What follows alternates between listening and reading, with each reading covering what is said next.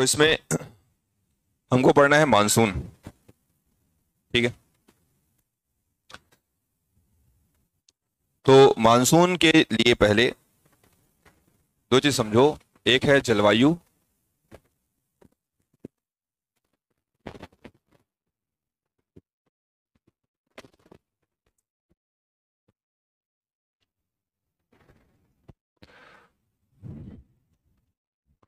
एक है जलवायु, एक जलवायु रहेगा और एक रहेगा मानसून। मानसून।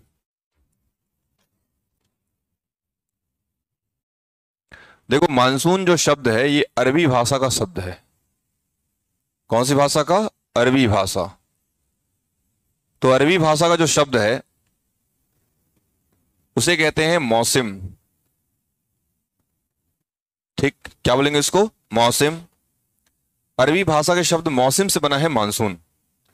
मौसम शब्द का अर्थ होता है पवनों की गति में परिवर्तन।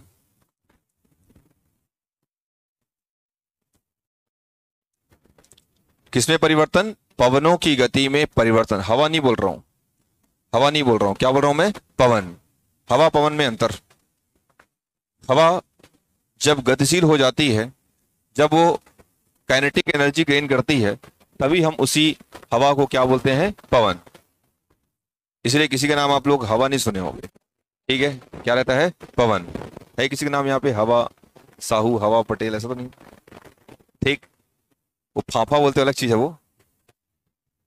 तो उसका संबंध हवा से ऐसे नहीं।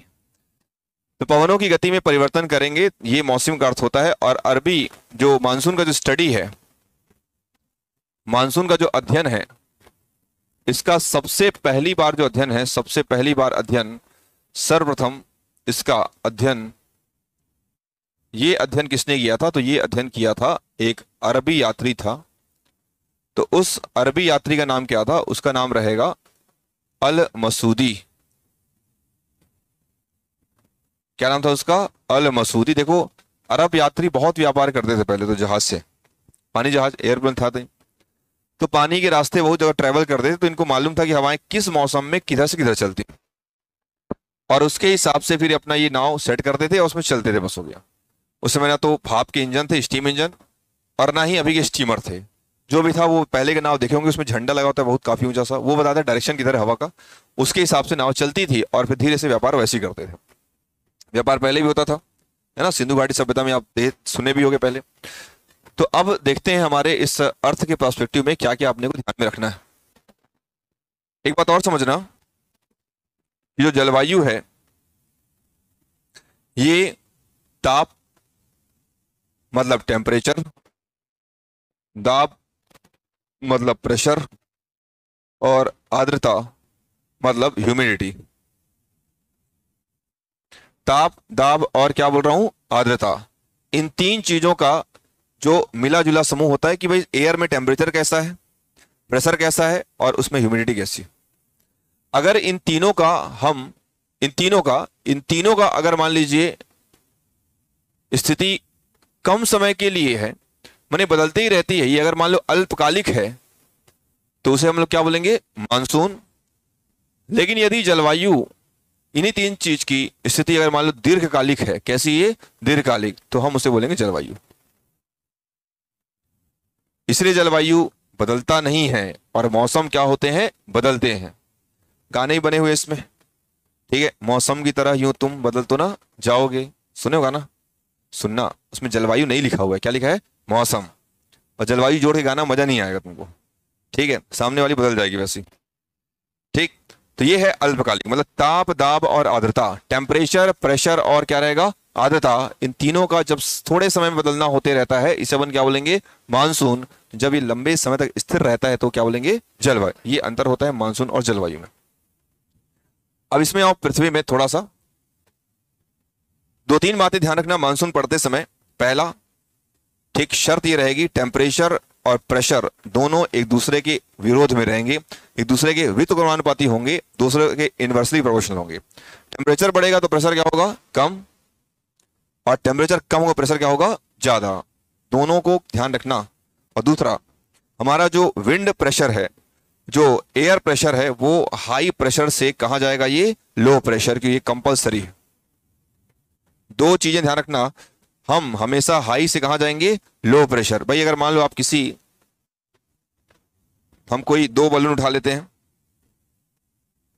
और दोनों बलून में हमने क्या, दोनों बीच में एक पिन सेट कर दिया, जैसे मान लो ये नली है, इधर एक बलून, यहाँ एक यहाँ बलून, एक छोटा बलून, एक बड़ा बलून तो क्या होगा, जैसे आप वॉल्व खोलोगे तो क्या होगा हाई से कहा जाएँगे लो की ओर, कब तक, जब तक कि दोनों बराबर ना हो जाए, यही।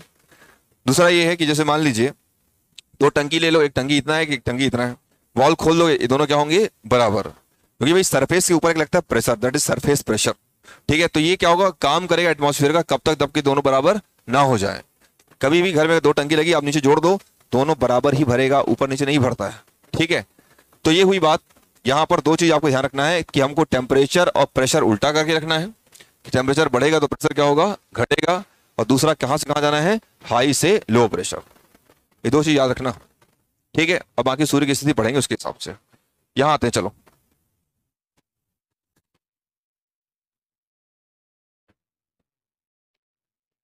इसमें हम लोग देखें सबसे पहले तो।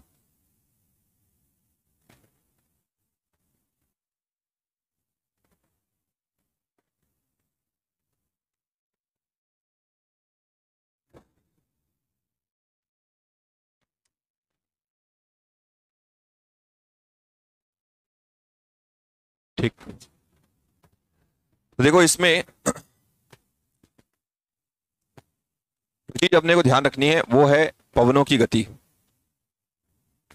पहले ये देखें कितने कितने डिग्री पर ये काम करेगा। तो भाई देखो बीचों बीच हमने पढ़ा है ज़ीरो डिग्री। क्या पढ़ा हमने? Zero degree. ध्यान समझना। Zero degree. और ज़ीरो के ऊपर रहेगा यहाँ पे पाँच डिग्री नॉर्थ एंड पाँच डिग्री साउथ। ठीक है ना यहाँ पे? फिर वैसे ही यहाँ पर तीस डिग्री नॉर्थ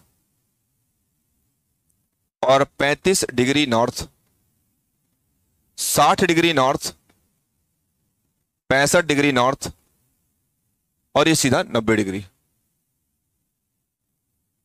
सेम नीचे भी रहेगा 30 डिग्री साउथ और 35 degree south 60 degree south and पैंसठ डिग्री साउथ एंड यहाँ पर क्या होगा? साउथ हाँ 90 डिग्री साउथ यहाँ तो कोई दिक्कत नहीं। अब इसमें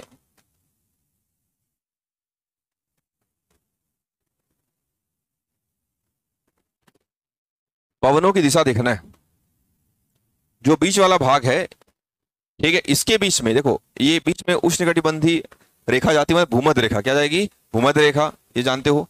और भूमध रेखा में तापमान बहुत ज़्यादा रहता है। क्योंकि नॉर्थ एंड साउथ पोल में क्या है ना कि ठंड रहती है, बारह महीने बर्फ़ जमा रहता है तो बर्फ़ जमा रहेगा तो वहाँ पे एरिया ठंडा रहेगा। कैसा रहेगा? ठंडा, एक चीज़। और ठंडे एरिया में देखो, फिर वही है टेम्परेचर अगर मान लो कम है, ठंडा में टेम्परेचर क्या रहेगा? कम प्रेशर क्या रहेगा? ज़्यादा। ऐसी ध्यान रखना। बीच में बोल रहा हूँ, बीचों बीच, भूमध्य रेखा है।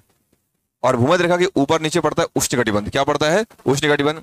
तो उष्ण कटिबंध में टेम्परेचर क्या रहेगा? ज़्यादा। मतलब जैसे मैं आता हूँ ना, ऊपर से नीचे की ओर नॉर्थ से लेके अगर टूवर्ड सेंटर आऊँगा, या साउथ से टूवर्ड सेंटर जाऊँगा तो टेम्परेचर क्या होगा? बढ़ेगा। सबसे ज़्यादा कहाँ पर रहेगा? भूमध्य रेखा पर। तो जहाँ पर ज़्यादा है टेम्परेचर वहीं पर प्रेशर क्या होगा? कम। मतलब जो यहाँ है बीचों बीच, कम प्रेशर बोले हो ना?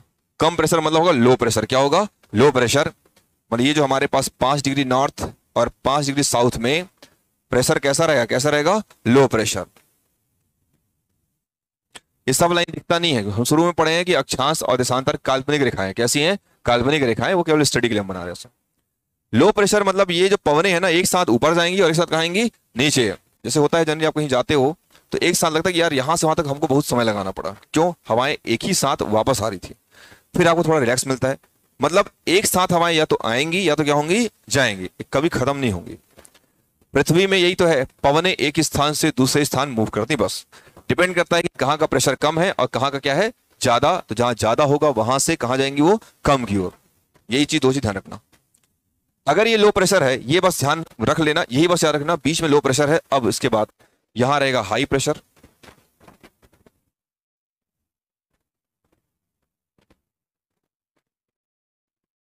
फिर रहेगा लो प्रेशर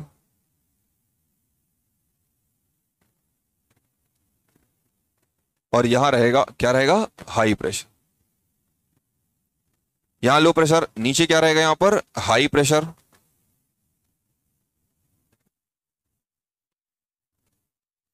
फिर रहेगा लो प्रेशर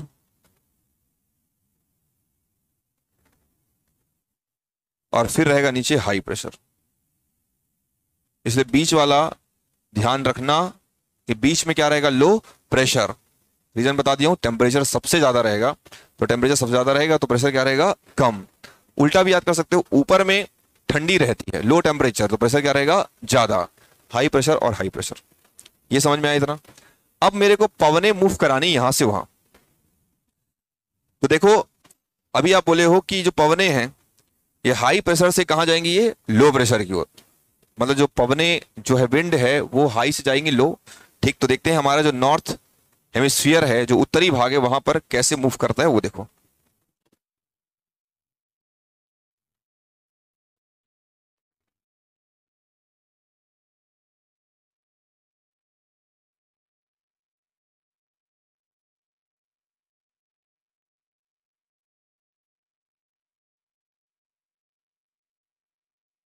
ठीक है ना?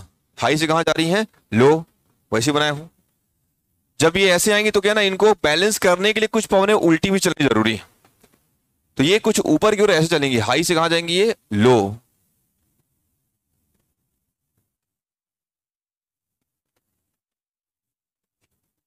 ठीक। इनको भी आप काउंटर कर दो। बैलेंस करने के लिए हाई से कहा जाएँगी ये? लो ठीक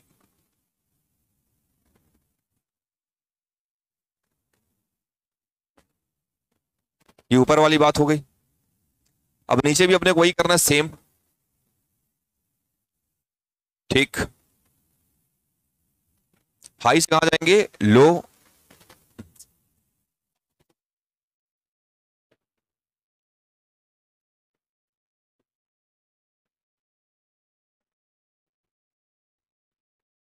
ठीक है।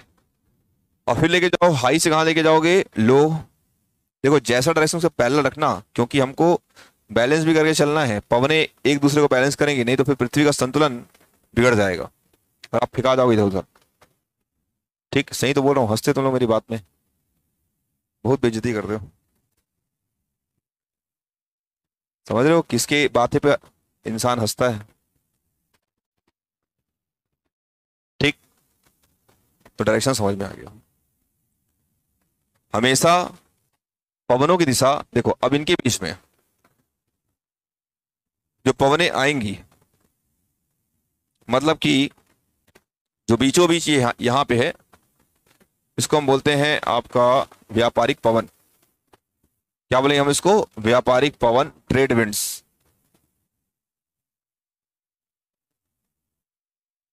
क्या बोलेंगे इसको? ट्रेड विंड्स व्यापार करने के लिए पवन इस्तेमाल होती थी, उसे ट्रेड विंड्स बोलोगे। दूसरा, इसको पीछे खींचने वाली पवन बोलेंगे पछुआ। क्या बोलेंगे उसको? पछुआ।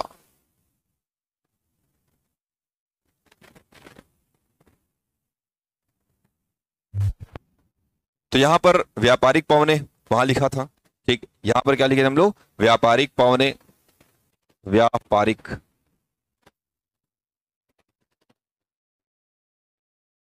ठीक। ये वाला कहलाएगा, क्या कहलाएगा? पछुआ पवने। पछुआ पवने। नीचे भी यहाँ से कहलाएगा पछुआ। क्या कहलाएगा? पछुआ पवने। और ये कहलाएगा ध्रुवीय पवने। क्या कहलाएगा? ध्रुवीय पवने। क्यों? क्योंकि ध्रुवों से आ रही है।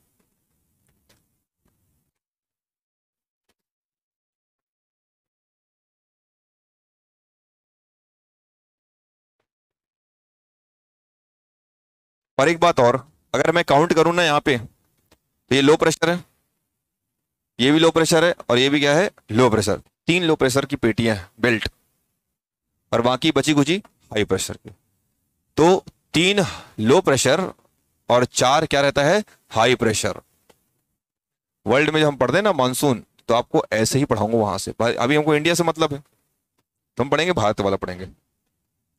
और आपको ये मालूम है कि हमको, हमारा जो स्थिति है भारत का, वो उत्तरी गोलार्ध में। कहाँ पर है? उत्तरी गोलार्ध। तो हम ऊपर की बात करेंगे। तो हमारे पास जो मौसम है, ठीक है, मौसम है अच्छा एक चीज़ और। एक व्यक्ति है, उसका नाम है फेरल। क्या नाम उसका? फेरल। Rule number three. तो फेरल क्या कहता है, देखो, फेरल ये बोलता है कि जब भी पवने ज़ीरो डिग्री को क्रॉस करती तो वो पूर्व दिशा की ओर। अब पूर्व की है, समझ जाओगे?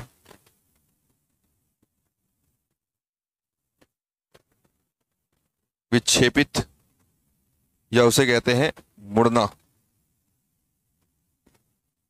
मुड़ जाती।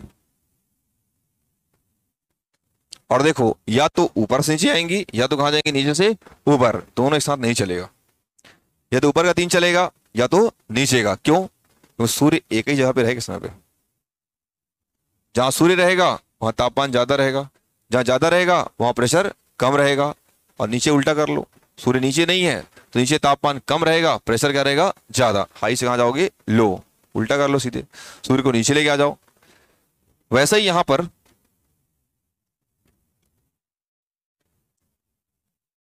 जैसे बीच में सूर्य और उसके चारों ओर पृथ्वी।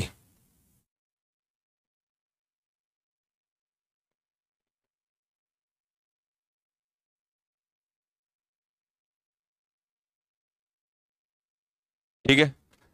तो पृथ्वी घूमती है, आपको ही मालूम है। और कैसे घूमती है, वो भी है पश्चिम से पूर्व। कहा जाती है? पश्चिम से पूर्व। ठीक है, और पृथ्वी सूर्य के चारों घूमेगी। पृथ्वी कहाँ घूमेगी? सूर्य के चारों ओर। तो सूर्य के चारों हम सो घुमाते हैं।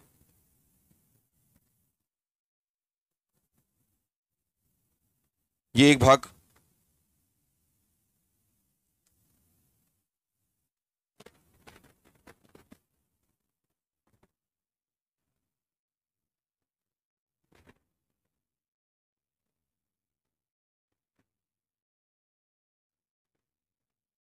है ना? पृथ्वी झुका हुआ भी है।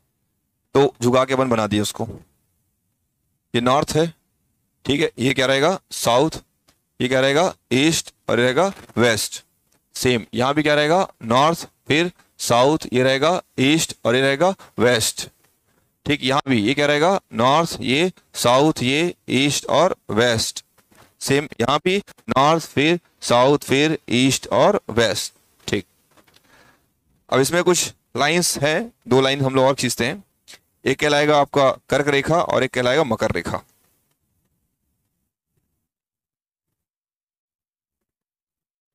ठीक, ये रहेगा। ऊपर वाला कर्क है, नीचे वाला क्या रहेगा? मकर।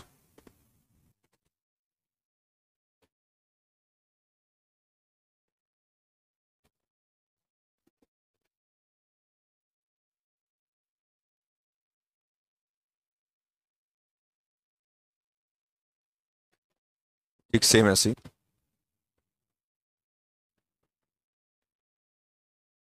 और कोई रेखा नहीं बना रहा हूँ, ठीक है? केवल कर्क और क्या बना रहा हूँ? मकर।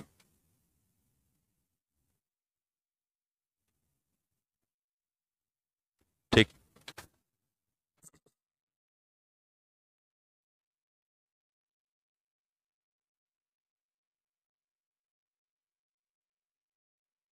अब इसके अंतर्गत और क्या मिलेगा? सूर्य जब घूमता है तो देखो, अभी सूर्य का जो भी रोशनी है है ना, ये हम लोग बोले मकर। क्या बोले हम इसको? मकर। और ये बोले हम लोग क्या बोले? कर्क। ठीक, यहाँ पर भी ऊपर में क्या रहेगा? कर्क। और नीचे क्या रहेगा? मकर।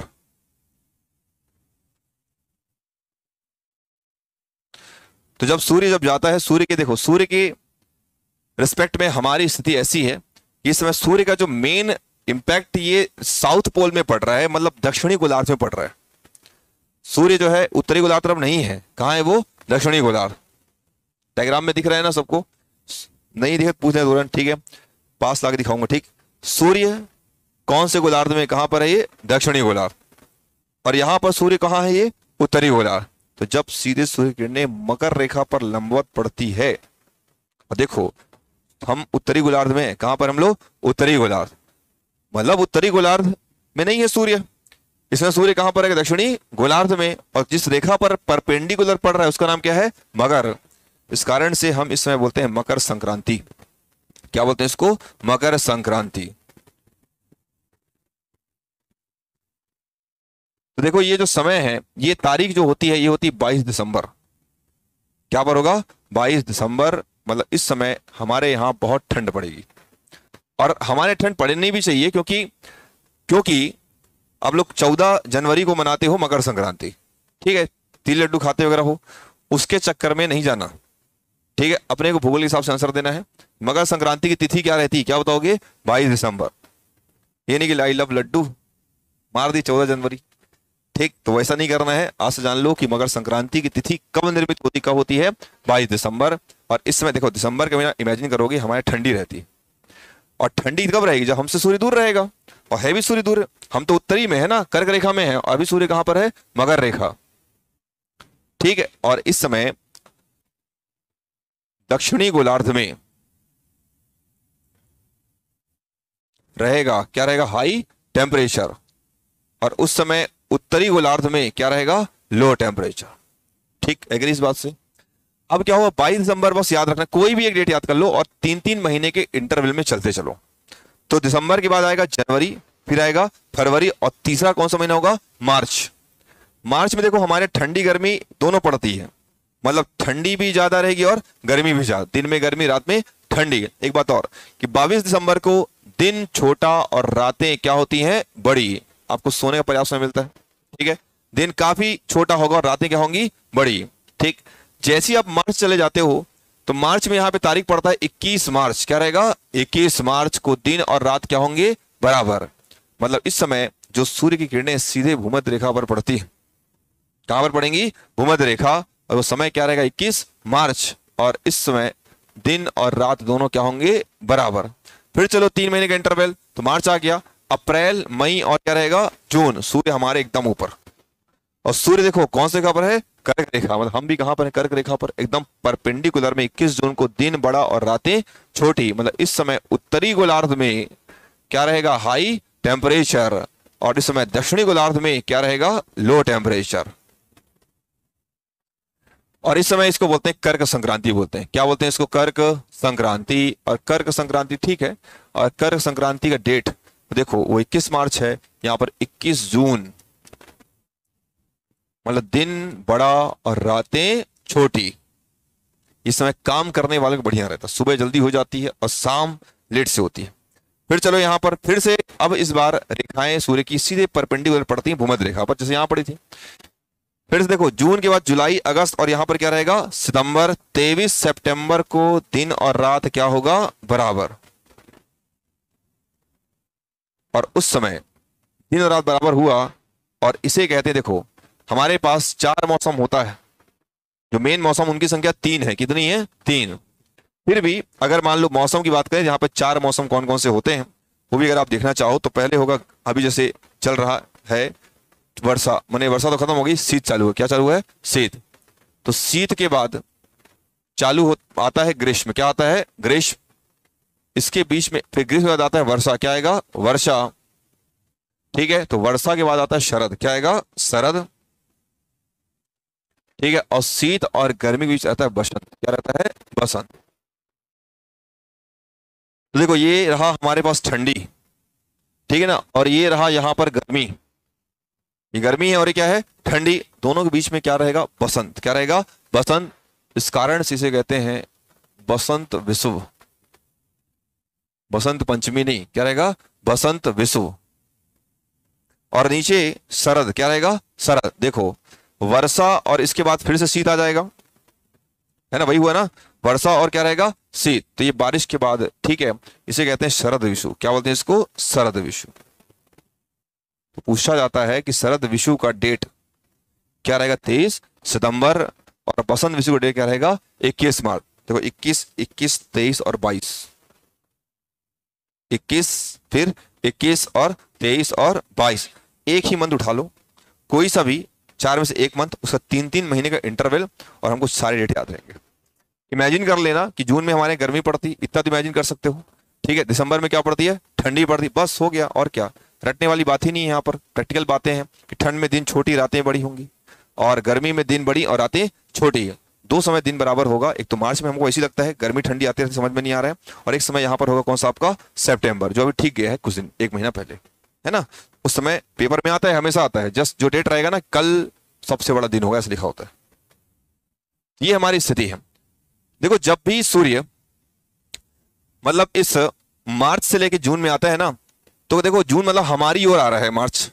मार्च में थोड़ी गर्मी कम रहती है, फिर अप्रैल में थोड़ी क्या होगी? बढ़ेगी। फिर उसके बाद मई में थोड़ी और बढ़ेगी। जून में और क्या होती है? ज़्यादा हो जाती है। मतलब सूर्य हमारे पास आ रहा है। और सूर्य हमारे पास आ रहा है मतलब कर्क रेखा के पास आ रहा है कहीं ना कहीं। भूमध्य रेखा से कहा यहाँ देखो, यहाँ भूमध्य रेखा में है। कहाँ पर रहेगा? भूमध्य रेखा। इसको ऐसा बना सकते हो कि सीधा ये स्ट्राइक करेगा। कहाँ करेगा ये? भूमध्य रेखा। इसे हम यहाँ पर भूमध्य रेखा पर स्थित है। तो यहाँ भी कहाँ पर होगा? भूमध्य रेखा। तो भूमध्य रेखा से आप चले आ रहे हो कर्क रेखा की ओर। और कर्क पड़ता है ऊपर। कहाँ पड़ता है? ऊपर। मतलब सूर्य कर्क रेखा से जा रहा है, कहाँ जा, सूर्य भूमध्य रेखा से कहाँ जा रहा है आपका? कर्क रेखा की ओर। सूर्य वही है, पृथ्वी घूमती है, घूम ऐसे रही है कि सूर्य की स्थिति ऐसी बन रही है कि वो भूमध्य से कहाँ पर बन रही है? कर्क रेखा। तो सूर्य उत्तर की ओर ज़्यादा इफ़ेक्ट कर रहा है। समझ पा रहे हो डायरेक्शन और इसे कहते हैं उत्तरायण। क्या बोलते हैं इसको? उत्तरायण। ठीक वैसे यहाँ पर भी होगा कि यहाँ पर भूमध्य रेखा पर थे भूमध्य से हम लोग नीचे आएँगे। कहाँ पर आएँगे? नीचे।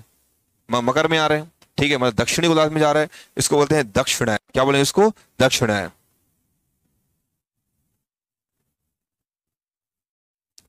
एक उत्तरायण है और एक क्या रहेगा? दक्षिणायन।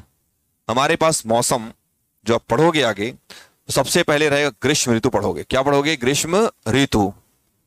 Summer season. फिर रहेगी उसको बोलेंगे हम लोग गर्मी के बाद क्या आती है? वर्षा मतलब वर्षा ऋतु। वर्षा के बाद क्या आएगी? क्या आएगी यहाँ पर? शीत ऋतु। यही तीन चीज़ पढ़ोगे और एक और पढ़ोगे इसमें शीत के पहले पड़ेगा शरद। क्या पड़ेगा? शरद। शरद। क्या पड़ेगा अपने को? शरद ऋतु। ये चार हमारे काम के हैं। ठीक है ना? सीक्वेंस तो मालूम है ना यार कि गर, गर्मी के बाद आती है वर्षा उसके बाद क्या आती है? ठंडी। ठंडी को शीत बोलते हैं। अब बस थोड़ा मेहनत करके शीत के पहले क्या बनाओगे? शरद और शीत के बाद बनाओगे बसंत। क्या बनाओगे? बसंत। बस वही करना है। गर्मी के मौसम में क्या होता है देखो? जो हम ग्रीष्म ऋतु की बात करते हैं जो पहली ऋतु है ग्रीष्म ऋतु,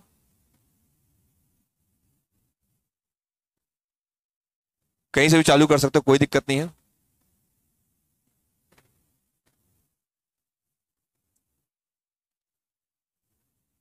तो ग्रीष्म ऋतु हमारे यहाँ कब से कब तक रहती तो स्टार्ट कब से होता है? या फिर सभी को लिख लेते हैं। प्रारंभ कब होगा इसका? और समाप्ति कब होगी?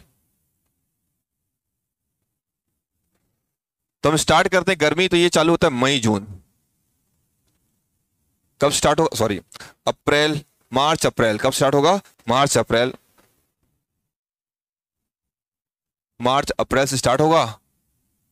और चलोगे, कब तक चलोगे? मई, जून तक या जून, जुलाई तक, उसमें आगे पीछे कर सकते हो। जून में मेन रहेगा। मई और जून। ठीक है? फिर यहाँ चलेंगे, जून से स्टार्ट होगा। जून, जुलाई से स्टार्ट करोगे। तो जून, जुलाई से हम चलेंगे सितंबर, अक्टूबर। कहाँ से चलेंगे? सितंबर, अक्टूबर। ठीक है? सितंबर, अक्टूबर, उसको और अक्टूबर में ठंडी चालू होगी। अभी जो चल रहा है ना, ये शरद ऋतु है। कौन सा है ये? शरद ऋतु। अक्टूबर से जाएँगे हम लोग, दिसंबर तक। और फिर आप स्टार्ट करोगे दिसंबर। दिसंबर से स्टार्ट होगा फिर फरवरी, मार्च तक। ये शीत का समय। ठीक है एवरेज हमारे पास मौसम ऐसे बदलते हैं, अभी हम लोग यहाँ ठीक है, अभी हमारे यहाँ शरद हो, ठंड बढ़ेगी। और ठंड बढ़ते बढ़ते दिसंबर तक बहुत ज़्यादा ठंड हो जाएगी। जनवरी में थोड़ी ठंड रहती है, फिर फरवरी में थोड़ा धीरे धीरे क्या होगा? कम होगा। तो बस इसी को समझना है, सूर्य कहाँ है? हमारे पास है तो गर्मी लगेगी, हमसे दूर है तो क्या होगा? ठंडी लगेगी। बस इसी बात को आपको समझना है बस। गर्मी के मौसम की बात करें तो ग्रीष्म ऋतु में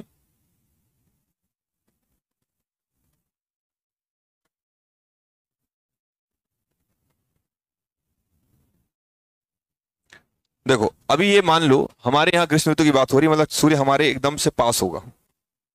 मतलब कर्क रेखा पर होगा। कहाँ पर होगा? कर्क रेखा पर। और कर्क रेखा पर है मतलब देखो, अब एक बात समझना कि गर्मी के पहले ठंडी रहा होगा। ठीक है, गर्मी पहले क्या रहा होगा? ठंडी। और ठंडी के समय मतलब सूर्य दक्षिण में था, अब वो हमारे पास आ रहा है। मतलब डायग्राम में आप ये समझोगे इसको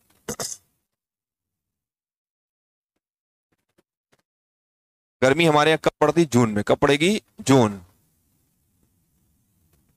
जब स्थिति कुछ ऐसी बन जाए। यहाँ पे भगवान सूर्य थे। चढ़ते चले गए ऊपर। ठीक, ये मार्च का महीना था। और ये कौन सा महीना है? जून का महीना है। जून में एकदम परपेंडिकुलर पड़ते हैं कर्क रेखा पर। तो जब ये सब होते रहता है ना उस समय जो आपने यहाँ पर शुरू वाले पेज में एक, बीच में लो प्रेशर क्रिएट किया यहाँ पर, बीच में। इसको हम लोग बोलते हैं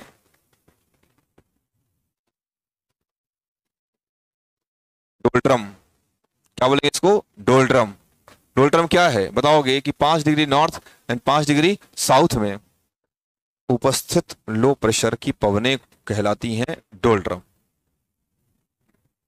ठीक? डोल्ट्रम क्या है? क्या बताओगे? Five degree north and five degree south में उपस्थित कौन सी प्रेशर लो प्रेशर की पवने क्या कहलाएँगी? डोलड्रम और ये ऐसा नहीं कि बस दिखती हैं। ये अपने आप एक साथ ऊपर जाएँगी और एक साथ कहेंगी नीचे। कौन लेके जाएगा? ये ब्लू कलर की और ग्रीन कलर की पौने ये ढकेलेगी ऊपर जाएगा। वो ढकेलेगी तो कहा नीचे। ढकेलेगी क्यों? भाई, अगर मान लो नीचे ऊपर लो प्रेशर रहा और नीचे क्या रहेगा? हाई प्रेशर तभी चलेंगे वो। वैसे वर्षा वो नीचे कब आएँगी? जब ऊपर क्या रहेगा? हाई प्रेशर नीचे क्या रहेगा? लो प्रेशर तब ढकेल के ब्लू वाली इस लो प्रेशर को नीचे लेके आएँगे। भारत के मैप में, भारत के पास एक बहुत शानदार चीज़ है, वो है यहाँ का हिमालय। क्या रहेगा यहाँ का? हिमालय। हिमालय जो है, ये बहुत रोल प्ले करता है हमारे इंडिया में।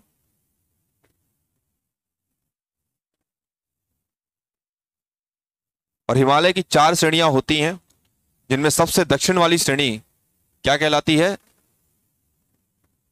क्या कहलाएगी? शिवालिक क्या कहलाएगी? शिवालिक तो इस समय जो सूर्य है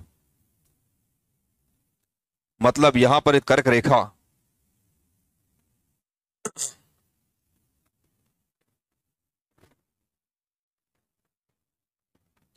ठीक, ये कर्क रेखा है और कर्क रेखा पे सूर्य आ चुका है। गर्मी बढ़ चुकी है हमारे पास।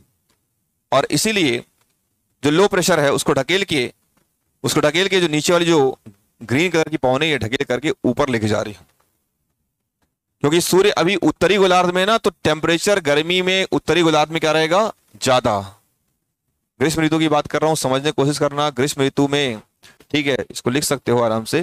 ग्रीष्म ऋतु में जो सूर्य की स्थिति, बताओगे तो सूर्य की स्थिति बताओगे, सूर्य कौन से गोलार्ध में है? कौन से गोलार्ध में है? उत्तरी गोलार्ध। ठीक है, यहाँ कोई दिक्कत किसी को? तो ऐसे में ये कह सकते हो कि उत्तरी गोलार्ध में कैसा टेम्परेचर रहेगा? कैसा रहेगा? हाई टेम्परेचर कैसा रहेगा? हाई टेम्परेचर और प्रेशर कैसा रहेगा? लो प्रेशर एंड सेम दक्षिणी गोलार्ध में स्थिति ठीक उल्टी रहेगी तो दक्षिणी गोलार्ध में टेम्परेचर कैसा रहेगा? लो टेम्परेचर लो टेम्परेचर और प्रेशर कैसा रहेगा? हाई प्रेशर और आपको अभी सिखाया गया है कि पवने हमेशा कहाँ से कहाँ मूव करेंगी? हाई प्रेशर से लो ठीक। हाई से कहाँ रहेगा? लो प्रेशर दक्षिणी गोलार्ध से पवने कहाँ जाएँगे? उत्तरी गोलार्ध। गई भी है। तो जब उसको ढकेलेंगी पाँच डिग्री नॉर्थ एंड साउथ वाले को तो ढकेले कहाँ तक लेके आओगे? जहाँ तक कोई रोके मत मेरे को। और रोकने का हिम्मत केवल हिमालय में है। इसमें है? हिमालय।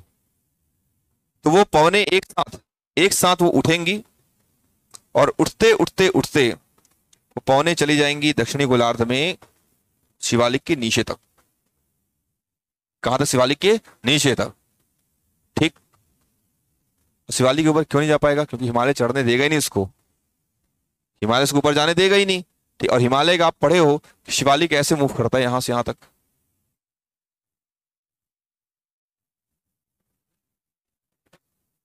शिवालिक हमारे पास।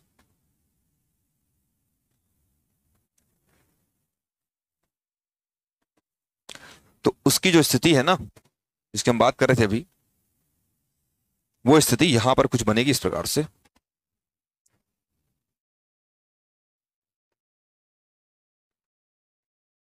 यहाँ पे आके अटक गया चुपचाप। ठीक? और उसे ही कहते हैं हम लोग, देखो, वो ऊपर गया है, सूर्य यहीं पर है टेम्परेचर बहुत ज़्यादा है प्रेशर बहुत क्या है? कम। और इतना कम है कि इसका प्रेशर बहुत कम हो चुका है, बहुत ज़्यादा कम हो चुका है, अति कम हो चुका है। मतलब ये जो डबल डॉटेड लाइन है, उसको हम क्या बोलेंगे देखो? इसे बोलेंगे वेरी वेरी लो प्रेशर ठीक, यहीं पर क्रिएट होता है। यहीं पे सब आके पौने, ऊपर से आ चुकी, यहीं पर अटक गई हैं तो ये एरिया कहलाएगा वेरी वेरी लो प्रेशर और इसी को हम कहते हैं मानसून का गड्ढा। इसे कहते हैं मानसून गर्द। क्या बोलते हैं इसको? मानसून गर्द, और यहाँ पर प्रेशर बहुत कम हो जाता है। देखो वेरी वेरी लो प्रेशर लिखा हूँ वेरी वेरी लो प्रेशर इसे कहते हैं निम्न दाब, मेखला। क्या रहेगा? निम्न दाब, मेखला, और इसे मानसून गर्द कहते हैं, इसे कहते हैं ड्रॉट। क्या बोलेंगे इसको? ड्रॉट। तो पूछा जाएगा कि मानसून गर्द क्या है? पहला चीज़, ये गर्मी के समय में शिवालिक के दक्षिण में बनने वाला अति निम्न दाब क्षेत्र है। कौन से महीने में होगा? गर्मी के महीने में शिवालिक के दक्षिण में बनने वाला अति निम्न दाब वाला क्षेत्र है। उसे क्या बोलते हैं? क्या बोलते हैं मानसून? गर्द। कहाँ बनता है? कहाँ बनता है? शिवालिक ये कौन सी दिशा में कहाँ बनेगा? दक्षिण में। और यहाँ प्रेशर क्या रहेगा? वेरी लो प्रेशर ठीक? और इस समय गर्मी में पूरे भारत में जो पवने चलती हैं, वो गर्म पवने चलती हैं, शुष्क पवनें चलती हैं, और उन गर्म पवनों की बात करेंगे तो सारी पवनें सारी जो पवने हैं, ये पवने इंडिया में सब जगह भागती रहती हैं। इन्हें कहते हैं लू। क्या बोलते हैं इसको? लू।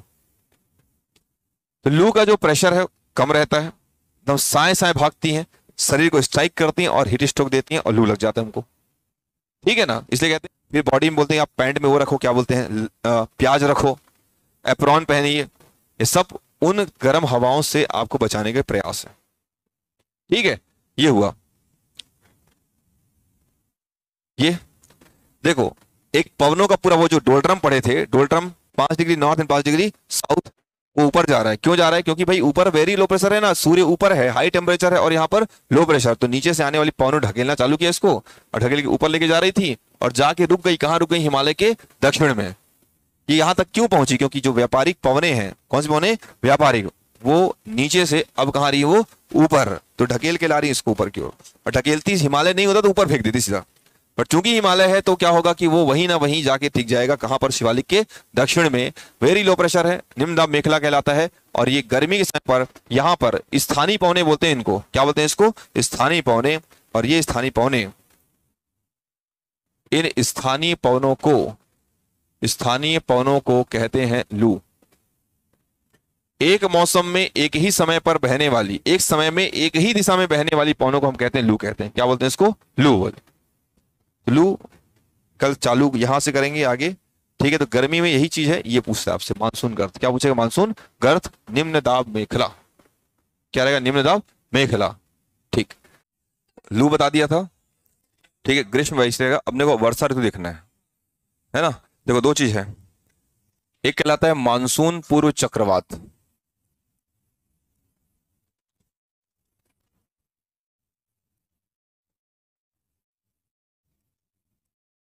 और जैसी मानसूनपुर चक्रवात की बात होती है, फिर आता है वर्षा ऋतु। देखो, गर्मी के मौसम में हमारे यहाँ कल एक गर्म हवा बह रही थी, उसे लू कहते हैं। क्या बोलते हैं इसको? लू। है ना? बताए थे हमारे पूरे भारत में। मैं देखो, इस समय भारत का जो हाल है ना, एकदम गर्म तवे के जैसा रहता है। और जब भी आप गर्म तवे पानी छिड़कते हो, आवाज़ आती है, बहुत झन्न से आवाज़ आएगी। ठीक, वैसा ही होता है कि जैसे, डोसा वाला मानसून पूर्व चक्रवात देखो कैसे काम करता है। मानसून के पहले एक, जैसे मानसून हमारे चालू होने वाला रहता है, हम लोग क्या महसूस करते हैं कि बहुत तेज हवाएँ चल रही हैं। ठीक है, पूरा एकदम पेड़ पेड़ ऐसे होते रहते हैं, कई लोगों का घर उड़ जाता है। ठीक है, उसे कहते हैं मानसून पूर्व चक्रवात। मतलब तूफ़ान ज़्यादा और उसमें वर्षा की मात्रा उसमें क्या रहेगी? कम। ठीक। तो उस मानसून पूर्व चक्रवात को हमारे इंडिया के कुछ स्थान में, कुछ राज्यों में अलग अलग नाम से जानते हैं। जैसे, साउथ में जो स्टेट है उसका नाम है तमिलनाडु और केरल। बाजू में हमको मिले कर्नाटक। कर्नाटक के साथ साथ इधर राइट में अपने को मिलेगा वेस्ट बंगाल ठीक है, उन सभी राज्यों में इसके अलग अलग नाम होंगे। तो क्या क्या नाम होंगे उसको देखते हैं हम लोग।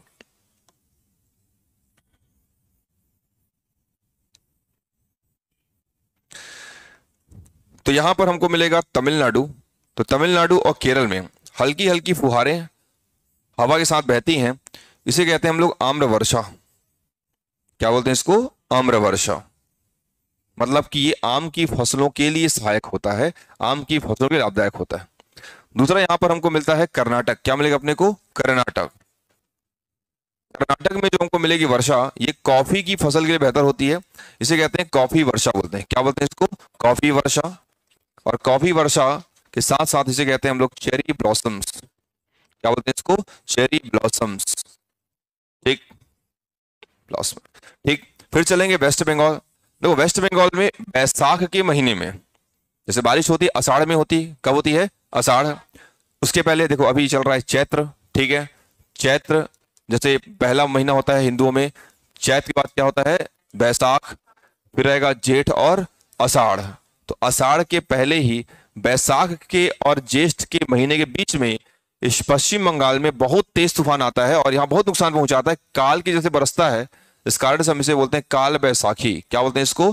काल बैसाखी। काल बैसाखी। और उसके बाद यहाँ पर पड़ता है असम। असम एक जनजाति से कहते हैं बोडो। क्या बोलते हैं इसको? बोडो। चिल्ला। क्या नाम इसका? बोडो चिल्ला। और यहाँ पड़ता है पूरे नॉर्वेस्टर, इस पूरे नॉर्थ ईस्ट में उसे बोलते हैं नॉर्वेस्टर। क्या बोलते हैं इसको? नॉर्वेस्टर। पूरा ये धूल उड़ा कर देता है वहाँ पर।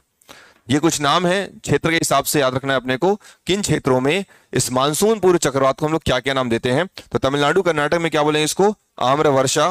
पूछा जाता है प्रश्न, आम्र वर्षा क्या है? आम की वर्षा है। दूसरा है कि बिहार में होने वाली वर्षा है। तीसरा है, केरल, तमिलनाडु में आम की फ़सल के लिए होने वाली वर्षा क्या कहलाती है? आम्र वर्षा। कॉफ़ी वर्षा होती, कहाँ होती है? कर्नाटक। उसे क्या बोलते हैं? Cherry blossoms. क्या बोले उसको? Cherry blossoms. और वेस्ट बंगाल में क्या कहलाएगा? काल वैसाखी असम में क्या बोलेंगे? बोडो चिल्ला। क्या बोलेंगे? बोडो चिल्ला। और यहाँ कहलाएगा पूरे नॉर्थ ईस्ट में क्या बोलते हैं इसको? नॉर्वेस्टर। ठीक, क्षेत्र और उसका नाम। फिर चलेंगे वर्षा ऋतु चलते हैं। तो वर्षा ऋतु को अलग ही पेज में देख लेते हैं, ज़्यादा अच्छा रहेगा। वर्षा ऋतु। अब बारिश होगी यहाँ पे। ठीक। देखो, अब समझना।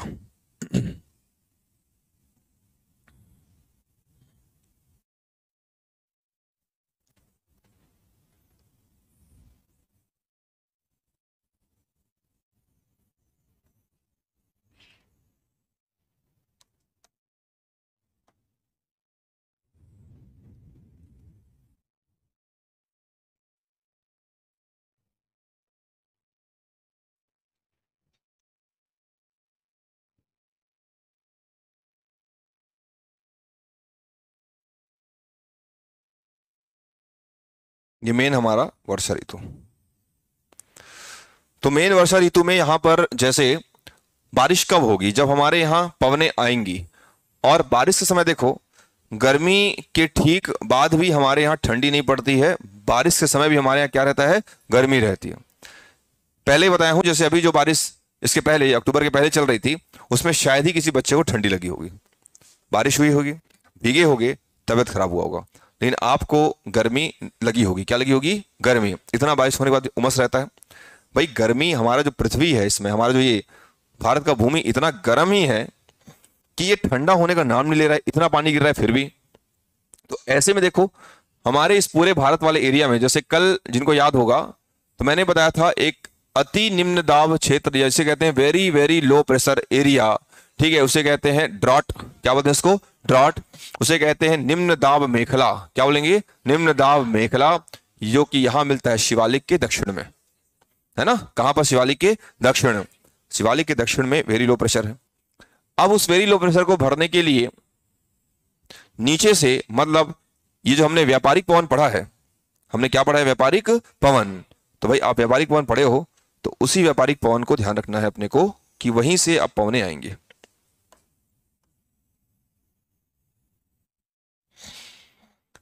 वो पवने जो व्यापारिक पवने थे डायरेक्शन मालूम होगा कि दक्षिणी गोलार्ध में पवनों की दिशा क्या थी। ठीक, वो अपने को ध्यान देना है। देखो,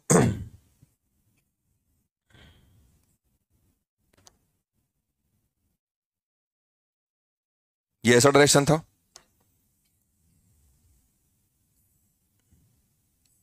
ये इसे कहते हैं व्यापारिक। क्या बोलते हैं इसको? व्यापारिक। और फेरल ने बोला था कि जैसे ही व्यापारिक पवन क्रॉस करेगी, है ना? जैसे ये ज़ीरो डिग्री, किसको क्रॉस करती है? Zero degree. तो ज़ीरो डिग्री क्रॉस करने दो और इसके क्रॉस करने के बाद वो अपने पूर्व की ओर मुड़ जाती है। कहाँ मुड़ जाती है? पूर्व की ओर। डायरेक्शन होना चाहिए था ऐसा सीधे। ठीक है ऐसे जाना चाहिए था, बट ऐसे नहीं जाएगा। वो पूर्व की ओर मुड़ जाएगा। कहाँ मुड़ जाएगा वो? पूर्व की ओर मुड़ेगा। तो मोड़ देते हैं पूर्व की ओर। ठीक है, कुछ ऐसा।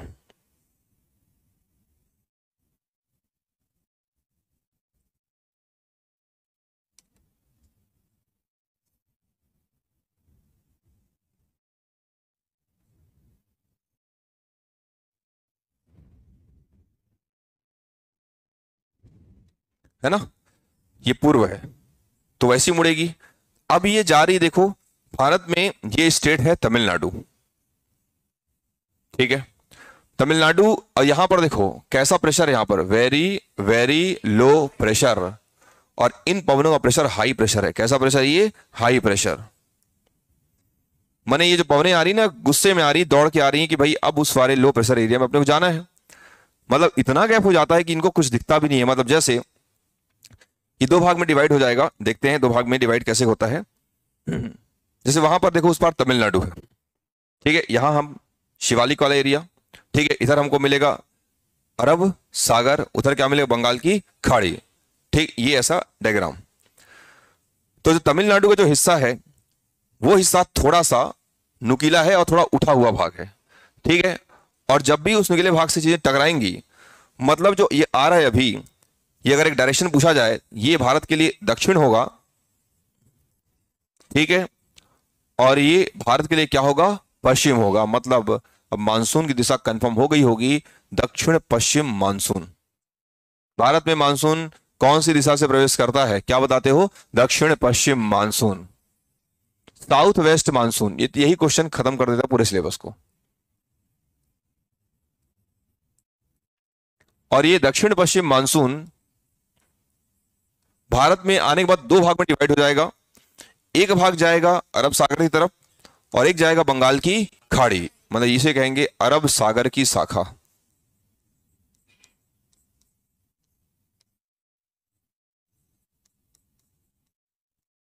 तो इसको हम लोग क्या बोलेंगे? बंगाल की खाड़ी की शाखा।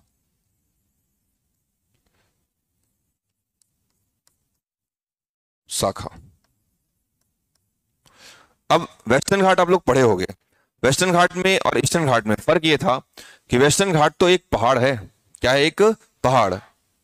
और ये पहाड़ जो है, ये कंटिन्यूअस है। कैसा ये? कंटिन्यूअस ना कि डिसकंटिन्यूअस ये जो पहाड़ हमको मिल रहा है, ये कंटिन्यूअस पहाड़ है।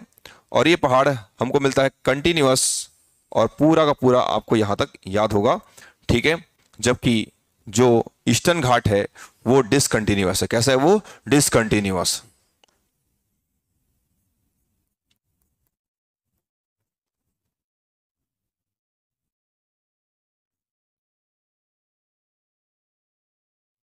ठीक है?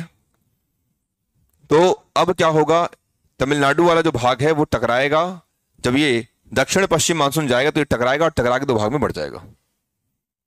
चाहे इधर से जाओ, जाना आपको यहीं पर है, क्योंकि यहीं पर लो प्रेशर है। चाहे घूम के जाओ, जाना आपको यहीं पर ठीक है, जो इधर से घूम के जाएगी, उसे बोलेंगे बंगाल की खाड़ी की शाखा, और जो सीधे जाएगी, उसे क्या बोलेंगे? अरब सागर की शाखा।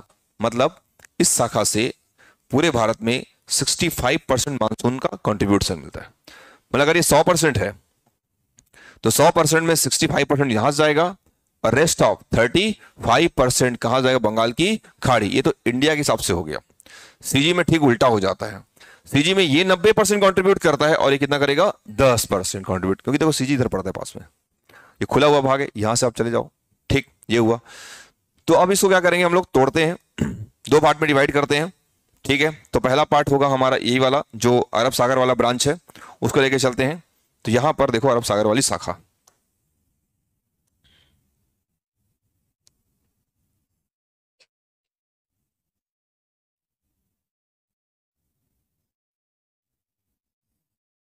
ठीक ये हुआ। ऐसा करके आप पूरा, देखो कितनी इंटेंसिटी है इस बारिश की। लेकिन इसकी इंटेंसिटी को रोक देगा वेस्टर्न घाट कौन रोकेगा? वेस्टर्न घाट ठीक? जबकि जो बंगाल की खाड़ी है, वो खाड़ी राइट साइड से अटैक करेगी। ठीक? और राइट साइड से अटैक करवाते हैं इसको। तो ईस्टर्न साइड से अटैक करवाते हैं इसको, ये इस प्रकार से आएगा।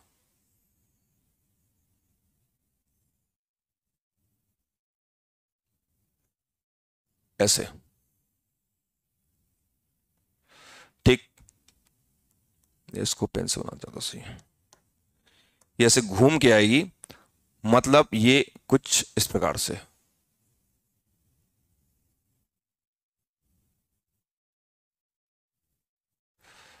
और देखो, यहाँ पर आप एक पहाड़ी पड़े होगे, गारो खांसी और जयंतिया। ठीक है ना? क्या पहाड़ी है? गारो खांसी और जयंतिया। यहाँ पर गारो है ना? कौन से राज्य में ये? असम में नहीं है। कौन असम बोल रहा था?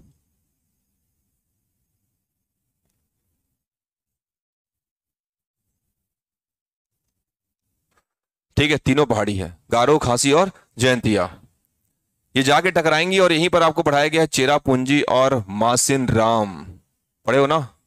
चेरापूंजी और मासिन राम, जहाँ पर विश्व की सर्वाधिक ज़्यादा वर्षा होती है। ये है चेरापूंजी और ये क्या है? मासेन राम ठीक? दोनों नाम है, एक का नाम है चेरापूंजी और एक का नाम क्या रहेगा? मासेन राम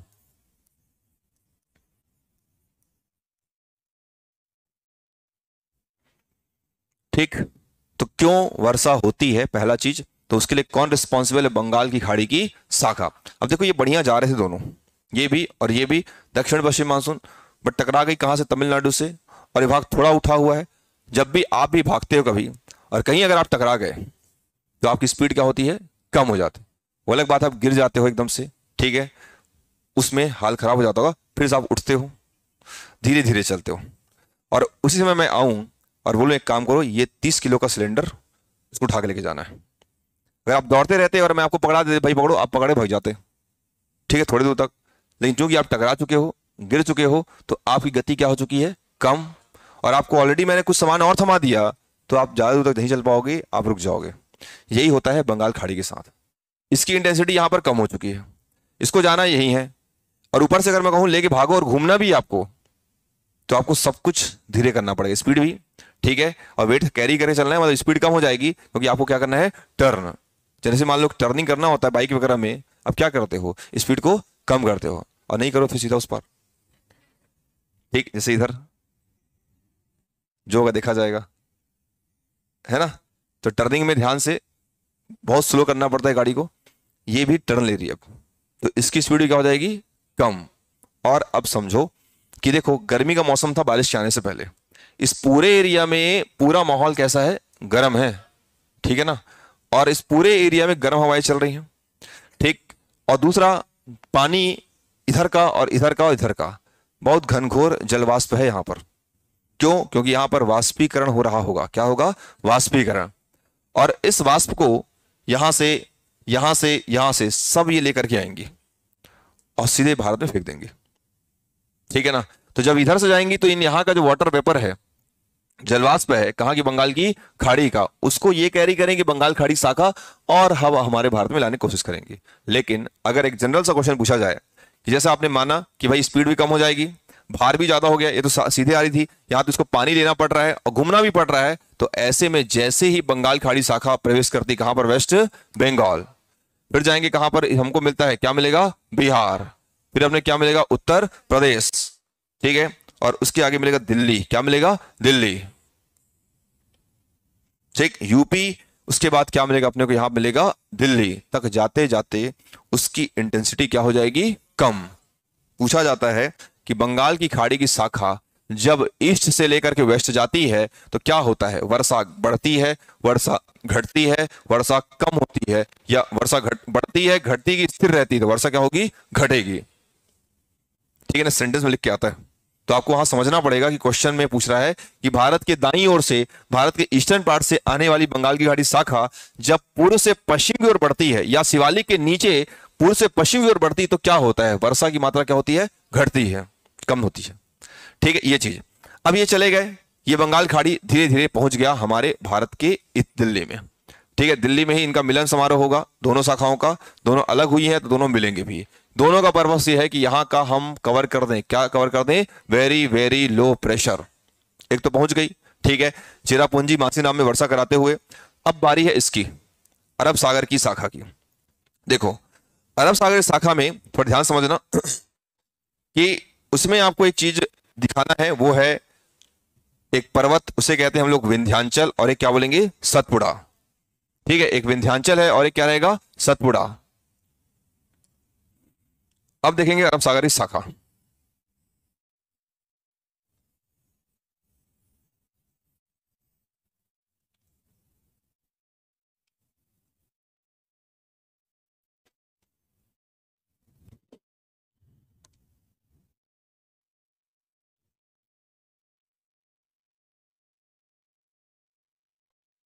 देखो, बारिश होती कैसे हमारे यहाँ, वो समझो। तो इसमें दो माउंटेन आपको बताया गया। एक माउंटेन का नाम था विंध्यांचल। क्या बोला गया? विंध्यांचल। ठीक है ना? एक विंध्यांचल है और एक रहेगा सतपुड़ा। ये रहा विंध्यांचल। और नीचे वाला भाग रहेगा सतपुड़ा। ठीक है ना? और ये रहेगा अरावली। क्या रहेगा? अरावली। तीनों पर्वत से अपने को मतलब है। एक तो विंध्यांचल है और एक क्या रहेगा? सतपुड़ा और एक क्या रहेगा? अरावली। ठीक। तो विंध्यांचल सतपुड़ा में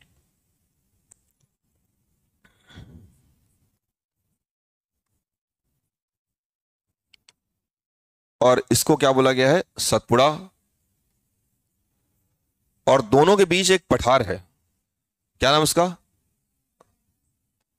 हाँ तुम। ठीक है। हम्म। क्या रहेगा दोनों के बीच में? अमरकंटक। क्या रहेगा? अमरकंटक। ये अमरकंटक का पठार।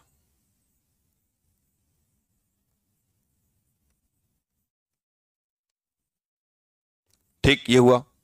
अब सतपुड़ा जिनको याद होगा, उसमें बताया गया था कि यहाँ पर जो श्रेणी है, उसका नाम रहता है राजपिपला। क्या रहता है? राजपिपला, फिर रहेगा महादेव, फिर रहता है मैकल। यही पढ़े थे। ठीक है। यहाँ पर था मैकल। मैकल किसका भाग है तो? सतपुड़ा का। अब इन अरब सागर की हवाओं को, ठीक।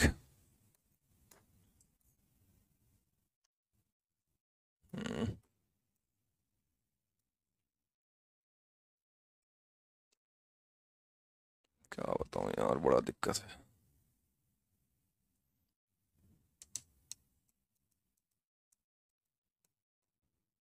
कैसे हटेगा ये?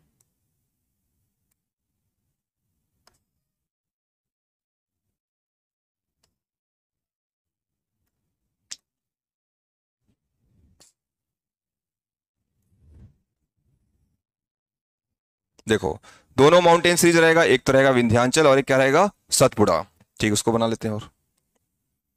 तो ये रहेगा विंध्यांचल, फिर क्या रहेगा? सतपुड़ा, ये रहेगा अरावली।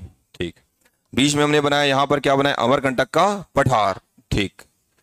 अमरकंटक के पठार का नाम लेने के बाद यहाँ पर हमने लिखा मैकल। क्या लिखा हमने? मैकल। ठीक। ये हुआ मैकल। ठीक है, ये अमरकंटक हमारे पास है।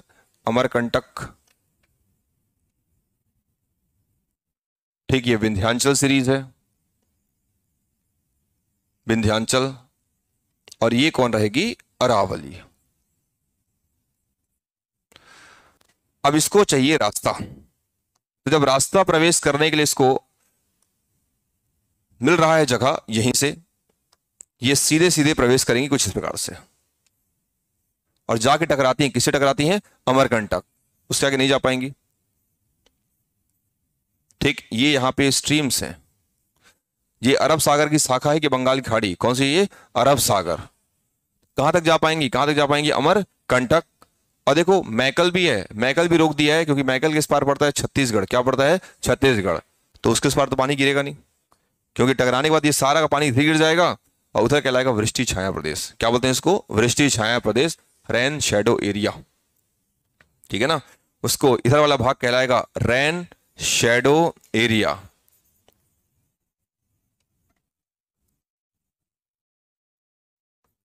वृष्टि छाया प्रदेश। क्या बोलेंगे इसको? वृष्टि, छाया प्रदेश। तो वहाँ तक ठीक है, उसके आगे नहीं जा पाएगी। दूसरा, जो ये वाला भाग है, अरावली का जो पार्ट है, इस अरावली के पार्ट में यहाँ पर देखो, दो स्ट्रीम अपने को भेजना है। एक मेवाड़ क्षेत्र में जाएगा और एक कहा जाएगा? मारवाड़। ठीक है? एक तरफ़ जाएगा मेवाड़ और एक तरफ़ क्या जाएगा? मारवाड़। तो व्हाइट वाला जाएगा ये मारवाड़। ठीक। जबकि इधर और भेजते हैं दूसरे कलर वाला। वो रहेगा मेवाड़ का एरिया।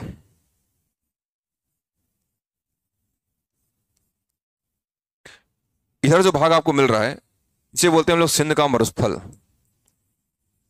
क्या बोलते हैं इसको? सिंध का मरुस्थल हमारे यहाँ नहीं है, पाकिस्तान में है। और दूसरा यहाँ मिलता है थार का मरुस्थल। क्या मिलता है? थार का मरुस्थल। तो क्या होता है? देखो, मरुस्थल जब जब ये बारिश हो रही है, उस समय तो मालूम है ना कि हमारे यहाँ गर्मी है तो रेगिस्तान भी क्या रहेगा? गर्म रहेगा। हवाएँ भी क्या रहेंगी? गर्म रहेंगी। वो इस अरावली से होकर के जाने वाले देखो, अरावली का डायरेक्शन इन हवाओं के एकदम पैरल है। ठीक है? इनके एकदम पैरल है। इस कारण से रोक नहीं पाएँगी। अगर मान लो इसका डायरेक्शन एकदम ऐसा होता ना, कि जैसे जा रही है, उसके अगर मान लो ऐसा ना होकर के ऐसा होता तो हाल कुछ और रहता। क्योंकि अरावली की दिशा, इन पवनों की दिशा के एकदम से क्या है? पैरल तो रोक नहीं पाती हैं, चली जाती हैं, लेकिन दोनों में फ़र्क पड़ता है ये मेवाड़ है और ये क्या रहेगा? मारवाड़। ये मेवाड़ है, ये कहलाएगा मारवाड़। मारवाड़ क्षेत्र में सिंध का मरुस्थल और थार का मरुस्थल। ये दोनों है। सिंध का मरुस्थल है और क्या रहेगा? थार का मरुस्थल। तो भाई, ये गर्म हवाएँ क्या करेंगी? इस अरब सागर से आने वाली वर्षा की जो ह्यूमिडिटी थोड़ी मोड़ी रहेगी, उसमें क्या वो सोख लेगी। तो जो भी थोड़ा मोड़ा बचा खुचा था, उसको सिंध के मरुस्थल और थार के मरुस्थल की गर्म हवाओं ने क्या कर लिया? सोख लिया। अब केवल बचेंगी, गर्म हवाएँ बचेंगी। लेकिन इस साइड तो फ़ायदा हमको मिल गया। इधर सोखने वाला कोई नहीं है। ये सीधे जाएँगी और आगे जाके मिलेंगी, कहाँ मिलेंगी? दिल्ली में। कहाँ मिलेंगी? दिल्ली। इधर से आई थी बंगाली खाड़ी और यहाँ जाएँगे कौन? अरब सागर। फिर वही जाके मिलेंगे शिवालिक के दक्षिण में। शिवालिक मना कर देगा, आगे अलाउड नहीं है। फिर वहीं रुक जाएँगी सारी हवाएँ। मानसून भारत में ऐसे एंटर करता है। इधर से भी और इधर से भी दोनों में, दोनों का मिलन कहाँ पर होगा? दिल्ली। ज़्यादा स्ट्रांग कौन सी इसमें से बंगाल की? नहीं, कौन सा? अरब सागर। ठीक? अब देखो, इस वाले शाखा में जो ये वाला ब्रांच हमको यहाँ पर मिल रहा है, ठीक, जो इधर हम यहाँ पे बताए हैं, इसको कहते हैं इधर जो एरिया है, ये जो पूरा एरिया हमको यहाँ पर मिल रहा है। जहाँ जहाँ पर ये व्हाइट कलर का डॉटेड सिंबल बन रहा है, ये भाग कैसा एरिया है, ये कहलाएगा अतिवृष्टि क्षेत्र। मतलब भयंकर पानी गिरने वाला एरिया कहलाता है ये सब। एक ये वाला भाग है, दूसरा इसको बोलते हैं अंडमान निकोबार। दो और तीसरा भाग ये वाला भाग है। मतलब चिरापुंजी और मासेन राम मतलब तीन जहाँ पर भयंकर पानी गिरेगा, उसे कहते हैं अति वर्षा वाला क्षेत्र।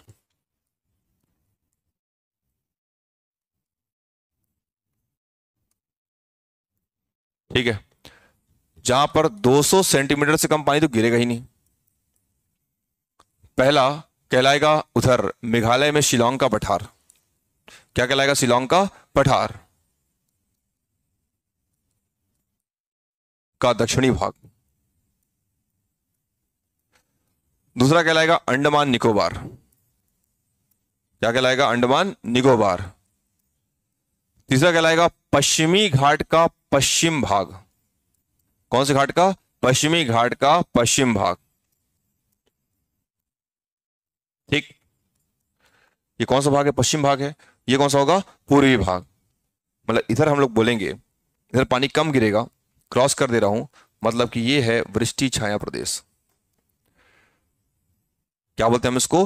वृष्टि छाया प्रदेश।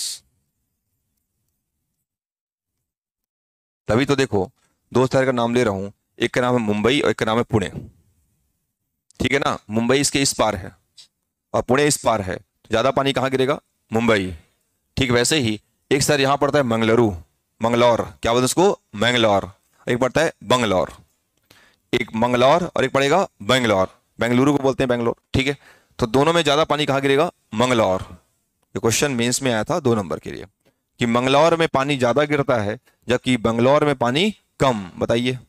वही क्वेश्चन बताएगा कि मुंबई में पानी ज़्यादा गिरता है, जबकि पुणे में पानी कम, क्योंकि वेस्टर्न घाट की स्थिति फ़र्क पड़ती है। या फिर, अरब सागर की शाखा राजस्थान में पानी क्यों नहीं गिरा पाती? क्योंकि अरावली माउंटेन रेंज ये इन शाखाओं के एकदम क्या है ये? समानांतर पैरल है। तो नहीं रोक पाएँगी तो पानी भी नहीं गिरेगा। ठीक है ना? ऐसे क्वेश्चन बनता है दो दो नंबर का चार नंबर का मेंस में। ये वर्षा ऋतु की बात अपन कर दी है। अब देखो, इसके बारे में कुछ बातें। अगर एक अक्षांश की बात करोगे ना तो अगर जिनको याद होगा, बहुत पहले पढ़ाया गया था, यहाँ पर कितने डिग्री की स्थिति बनती है? छह डिग्री, पैंतालीस मिनट। और यहाँ कितनी बनती है? आठ डिग्री, चार मिनट। ज़्यादा नीचे कौन सा है आपका? छह डिग्री, पैंतालीस मिनट। इसलिए पहली बार वर्षा कब, कहाँ पर आती है? अंडमान निकोबार। ठीक है? तो पहला जो अपीयरेंस इंडिया में पड़ता है 25 मई के आसपास। ये पानी कहाँ गिरेगा? अंडमान निकोबार। हमारे इंडिया के भारतीय राज्यों में एक जून से लेकर पाँच जून के बीच में। कब तक? एक से लेकर के पाँच जून के बीच में पहली बार वर्षा होती केरल में। कहाँ पर होती है? केरल। क्योंकि केरल की स्थिति आप देखे हो, केरल हमारे भारत में कुछ ऐसे स्टेट्स में आता है, ये भाग खुला है। तो जो भाग खुला है, वहाँ पानी पहले गिरेगा। इसे कहते हैं मानसून का प्रवेश द्वार। किसको बोलते हैं हम लोग? केरल। अगर राज्य बोलेगा तो केरल एंड कंप्लीट इंडिया बोलेगा तो अंडमान, निकोबार। ये हुआ। अब वर्षा के बाद हमारे यहाँ आती है। अब देखो, हमारे पास जो ये पानी यहाँ जाके रुक गया है, ये शिवालिक है। क्या ये? शिवालिक। सब पानी यहाँ जाके रुका हुआ है। ये कहते हैं आता हुआ मानसून बोलते हैं इसको। क्या बोलते हैं इसको? आता हुआ मानसून। अब बहुत तेज़ी से आता है। पानी बहुत तेज से गिरता है। जब यही मानसून वापस लौटेगा क्योंकि भाई गया है तो वापस लौटेगा। रीजन क्योंकि ये शिवालिक ने इसको रोक दिया। तो एक मौके की तलाश में रहेगा। कब ऐसी स्थिति आए कि यहाँ बने हाई प्रेशर और नीचे क्या बने लो प्रेशर तो मैं जाऊँ हाई से कहा जाऊँ? लो की ओर। यही होगा। अब देखो, यहाँ आपने पढ़ा है थर्टी सेवन डिग्री है ना? सैंतीस डिग्री छह मिनट यहाँ पढ़ते हो पूरा, ये वाला भाग पढ़ते हो साढ़े तेईस। क्या पढ़ते हो? साढ़े तेईस। तो ये मान सकता हूँ कि ये आपका लगभग तीस डिग्री के आसपास होगा। यूपी, बिहार है, ठीक है, वो कितना होगा? लगभग तीस डिग्री के आसपास होगा। और देखो, जो कल वाली मैप में पढ़े थे, कि तीस डिग्री के नीचे थे ना हम लोग, अगर इस पूरे ग्लोब की अगर बात करें तो इसके अंतर्गत ये यहाँ पे तीस डिग्री था, और नीचे कितना था? तीस डिग्री, जहाँ सभाएँ ऐसी आई थी। अभी हम लोग ऐसे भेजे। अब अगर मान लो ये नीचे से डाउनवर्ड आएँगी तो ऐसे आने के बाद ये ऐसे नहीं जाएँगी, ठीक है? ये कहाँ मुड़ जाएँगी? पूर्व की ओर मुड़ जाएँगी, ऐसी बोलता है फेरल। इसे कहेंगे लौटता हुआ मानसून। क्या बोले इसको? लौटता हुआ मानसून। अब मानसून को लौटाते हैं। तो लौटता हुआ मानसून बोलेंगे, देखो जब शीत खत्म वर्षा खत्म हुई मतलब अब बनेगा शरद। क्या बनेगा? शरद। शरद ऋतु का जो समय है, वो बताया गया था आपको अक्टूबर से लेकर के दिसंबर। अब जो बारिश आने वाली है, ठीक है, अगले दो महीने। वो कौन से ऋतु की बारिश होगी? शरद ऋतु की।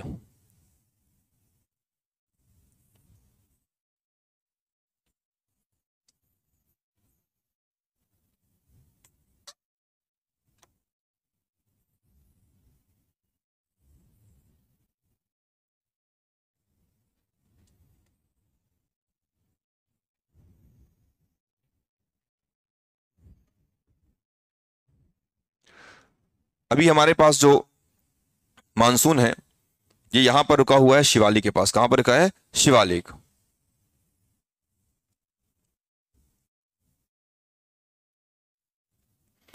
मतलब वो यहाँ पर है। ठीक, अब जैसे मान लो अभी हल्का फुल्का आपको ठंड महसूस होना चालू हो गया होगा। दिन में तो नहीं, लेकिन रात में आपको ठंड लगती होगी। सोए लगती है अच्छा ठीक है। ठीक है, जब भी है। मतलब अब धीरे धीरे क्या है, ठंड वगैरह चालू हो गया होगा, ये बोल रहा हूँ। क्यों? क्योंकि अब हमसे सूर्य दूर जा रहा है। कल तक बात हुई थी, कल सूर्य एकदम से कर्क रेखा में था, ठीक है ना? और जो समय था, वो था तेईस सितंबर का, जिस समय दिन और रात क्या होती है, बराबर, है ना? सितंबर के बाद हमको दिसंबर तक जाना है। तो सितंबर से दिसंबर के बीच में अक्टूबर पड़ेगा, नवंबर पड़ेगा फिर बनेगा दिसंबर। भाई देखो जैसे जैसे सितंबर से अक्टूबर, नवंबर, दिसंबर हो रहा है ना तो अब पृथ्वी के प्रोस्पेक्टिव में सूर्य उत्तरी गोलार्ध से कहा जा रहा है वो? दक्षिणी गोलार्ध। तो भाई भारत में ठंडी हो गई, सीधी सी बात है। और अति तब हो जाएगा दिसंबर के समय पर, जिस समय रात बहुत क्या होगी? लंबी। जितनी लंबी रात, उतना भगवान सूर्य हमसे दूर और उतना ही हमारे यहाँ क्या पड़ेगा? ठंडी पड़ेगा। मतलब इस समय जैसे नीचे चले गए भगवान सूर्य, ठीक है? देखो, शरद ऋतु में ये बोल सकता हूँ मैं कि सूर्य कहाँ जा रहा है, कहाँ जा रहा है दक्षिणी गोलार्ध तो जब दक्षिणी गोलार्ध में सूर्य है तो टेम्परेचर भी कहाँ पर ज़्यादा होगा? कहाँ होगा? दक्षिणी गोलार्ध। तो दक्षिणी गोलार्ध में स्थिति क्या बनेगी?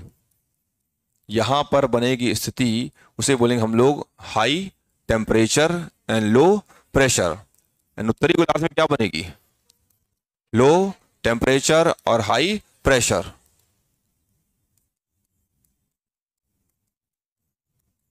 तो हमको बताया गया है कि हवाएँ कहाँ से कहाँ जाएँगी आपका हाई प्रेशर से लो प्रेशर तो हमारे उत्तरी गोलार्ध में क्या रहेगा? हाई प्रेशर और दक्षिण में क्या रहेगा? लो प्रेशर अब ऊपर से नीचे हो गया।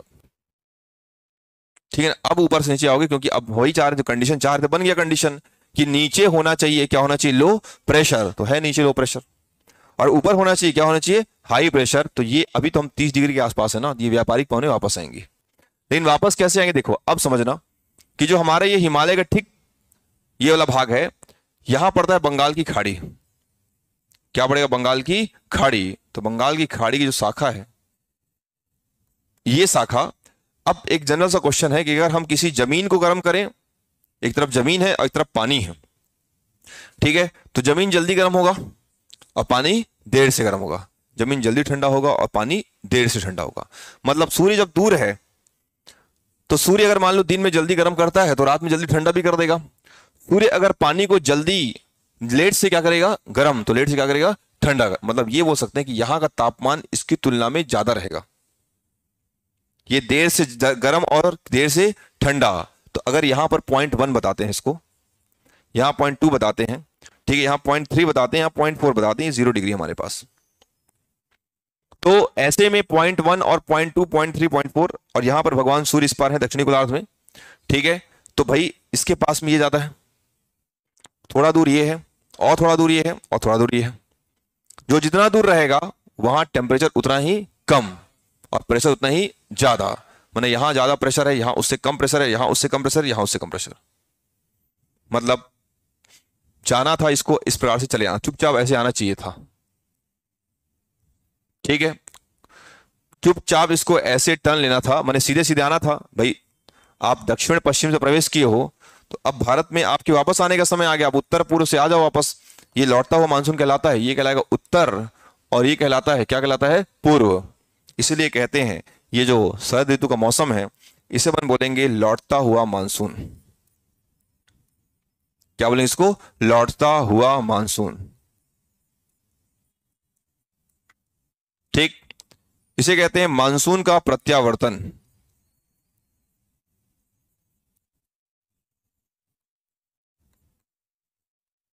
क्या बोलेंगे इसको, मानसून का प्रत्यावर्तन? और इसे कहते हैं उत्तर पूर्वी मानसून।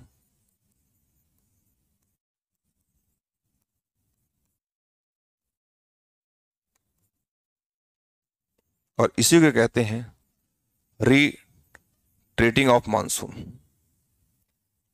चाहे रिटेटिंग बोलो, चाहे उत्तर पूर्वी बोलो, चाहे मानसून का प्रत्यावर्तन बोलो, चाहे लौटता हुआ मानसून। का दिशा रहेगा उत्तर और पूर्व। मानसून लौटेगा, ठीक है। मेरे पास पॉइंट नंबर टू है एंड पॉइंट नंबर यहाँ पर मान लो सिक्स है। भाई, ये ज़्यादा गर्म एरिया रहेगा। तो पानी है ना ये? और ये क्या है? ज़मीन है।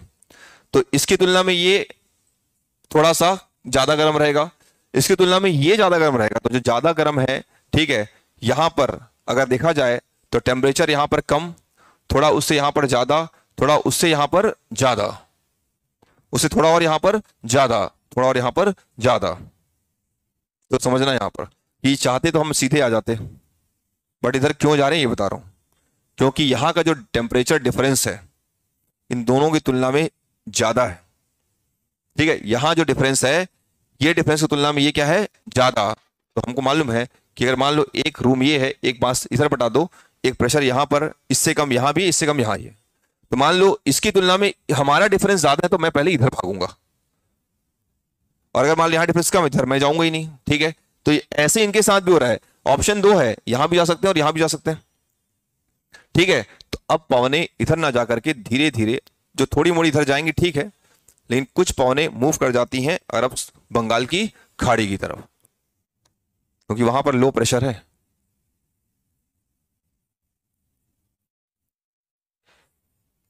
कैसा प्रेशर है?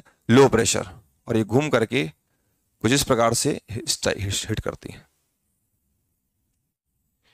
भारत के पूर्वी तट में मतलब यहाँ पर हमको मिलता है, जो तमिलनाडु वाला हिस्सा है। ठीक है, क्योंकि तमिलनाडु का हिस्सा भी खुला हुआ है राइट साइड से, अगर ध्यान दिया हो मैप पे तो।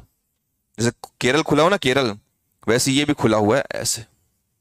जो हमारे पास नीलगिरी आता है, वो नीलगिरी ऐसे है। ये पूरा भाग ओपन है, ये पूरा। ठीक? तो इसलिए पौने ऐसे आती हैं और सीधे चली जाती हैं कहाँ जाती हैं? तमिलनाडु और यहाँ पर वर्षा कराती हैं। तो पूछा जाता है कि इस लौटते हुए मानसून से सर्वाधिक वर्षा कहाँ पर होती है? तमिलनाडु और ये बताओ, शिवालिक गर्म स्थान नहीं है, कैसा स्थान है? ठंडा। ठंडे प्रदेश से आने वाली हवाएँ भी क्या होंगी? ठंडी। लेकिन चूँकि यहाँ टकराए हो तुरंत तो पूरी हवाएँ जम चुकी हैं। और वो छोटे छोटे कण के साथ बह रही है, उसे कहते हैं शीतलहर क्या बोलते हैं उसको? शीतलहर लेकिन ठंडी आएगी। शीतलहर के प्रकोप में 40-50 लोग यूपी में मर गए। कहाँ मर गए? यूपी में, बिहार में। तो जैसी हवाएँ ठंडी रहती, बहुत भारी रहती हैं, बर्फ़ के कण रहते हैं तो बहुत तेज से बहती हैं। और तेज से ऊपर नहीं, कहाँ बहेंगे वो? नीचे। हल्की नहीं हुई है, भारी है अभी। ठीक है, गर्म हवा हल्की होती, ऊपर जाती है, और ठंडी हवा भारी होती, कहाँ रहती है? नीचे। तो गर्मी में भी यूपी, बिहार वाले मरते हैं। और ठंडी में भी यूपी बिहार वाले मरते हैं क्योंकि उनकी स्थिति है ही ऐसी कि एकदम ठीक शिवालिक कहा है वो पास में। ठीक?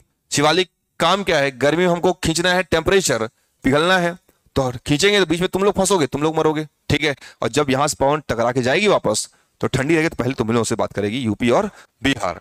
उधर रहा छत्तीसगढ़। छत्तीसगढ़ में तीन भाग बांटो सरगुजा फिर बीच में हमारा ये बस्तर वाला भाग ए, बस्तर कहता हूँ बिलासपुर, दुर्ग, रायपुर वाला भाग और नीचे क्या रहेगा? बस्तर। बर्फ़ जमने की घटना, या फिर ओले ओले पड़ते हैं ना, ये यहीं पड़ते हैं। कहाँ पड़ते हैं? सरगुजा। कभी बिलासपुर में बर्फ़ नहीं जमेगा। फिर इसकी बात नहीं कर रहा हूँ, इन जनरल की बात कर रहा हूँ, ठीक? तो ना तो बिलासपुर में बर्फ़ जमेगा और ना ही कहाँ पे? बस्तर में। क्योंकि हमारे सरगुजा का जो डिस्टेंस है यहाँ से, कहाँ से? शिवालिक से ज़्यादा क्या है? पास है। शीतलहर भी वहीं पर होगा, हमारे यहाँ नहीं आता। है ठीक? और आएगा भी ना तो बर्फीली कड़े नहीं आएँगी, जो बर्फ़ के छोटे छोटे मॉलिक्यूल्स होते हैं, वो नहीं आएँगे, क्योंकि आते आते वहाँ से ना ये हवा से फ्रिक्शन में पिघल जाते हैं। और ये बारिश का रूप लेते हैं। किसका रूप? बारिश। और फिर वो बारिश आपको बहुत परेशान करती बहुत ठंड रहती है उस ठीक है? अभी जो बारिश होगी, दिसंबर के समय पे, दिसंबर हो, या फिर आपका, है ना, जो भी अब बारिश आएगी ना, ये वापस आएगी तो इसकी ठंडकता बहुत रहती है। ठीक है? जबकि अभी जो बारिश आई थी, इसमें उसमें आपको ठंडी नहीं लगेगी। जहाँ से आ रही, देख लो ना। ये इधर से आ रही तो ठंडे क्षेत्र से आने वाली हवा भी क्या होगी? ठंडी। बारिश भी क्या होगी? ठंडी। क्योंकि यहाँ गर्म क्षेत्र से आने वाली जो हवा थी वो क्या रहेगी? गर्म। तो वा, वापस जब आते हैं तो इसमें क्वेश्चन यही पूछा जाता है कि शरद ऋतु में सर्वाधिक वर्षा कौन से क्षेत्र में होती है? कहाँ पर होती है आपका? तमिलनाडु। और इस समय देखो हमने एक फ़सल पढ़ा है उसका नाम है धान। धान हमारे छत्तीसगढ़ में या किसी भी राज्य में हम गर्मी के समय पर बोते हैं। मतलब लगभग जून जुलाई में हम लोग क्या करते हैं बोते हैं। और अभी सितंबर, अक्टूबर हम उसको क्या करते हैं? काटते हैं। यही हमने पढ़ा है। खरीफ फ़सल है वो। कैसी फ़सल है? खरीफ। लेकिन तमिलनाडु ऐसा स्थान है कि ये ठंडी के मौसम में चावल पैदा करता है। और इस समय ये लौटता हुआ मानसून सर्वाधिक तमिलनाडु में वर्षा करता है, ठीक है, बट तमिलनाडु में चावल की फ़सल के लिए। किसी फ़सल के लिए? चावल की फ़सल के लिए बहुत उपयोगी होता है। क्योंकि चावल तो गर्मी में होता है। और ठंडी में चावल हो रहा है, कहाँ पर हो रहा है? तमिलनाडु। गर्मी में चावल हो रहा है, कहाँ हो रहा है? तमिलनाडु। इसलिए कहते हैं, तमिलनाडु को धान का कटोरा बोलते हैं। हम दिखते हैं, हमारी जो छत्तीसगढ़ का जो आकृति है, वो कटोरे की जैसी है। इसलिए कहते हैं, छत्तीसगढ़ को धान का कटोरा। लेकिन तमिलनाडु में उत्पादन होता है, इसलिए क्या बोलते हैं, उसे धान का कटोरा। वेस्ट बंगाल में उत्पादन ज़्यादा होता है ना? लेकिन हम वैरायटीज की बात करेंगे तो यहाँ पर देखो, पश्चिम बंगाल में आपको ठंडी के समय पर उतनी अनुकूल परिस्थितियाँ नहीं मिलेंगी। लेकिन जब हम बात, मैं मैक्सिमम प्रोडक्शन की बात नहीं कर रहा हूँ।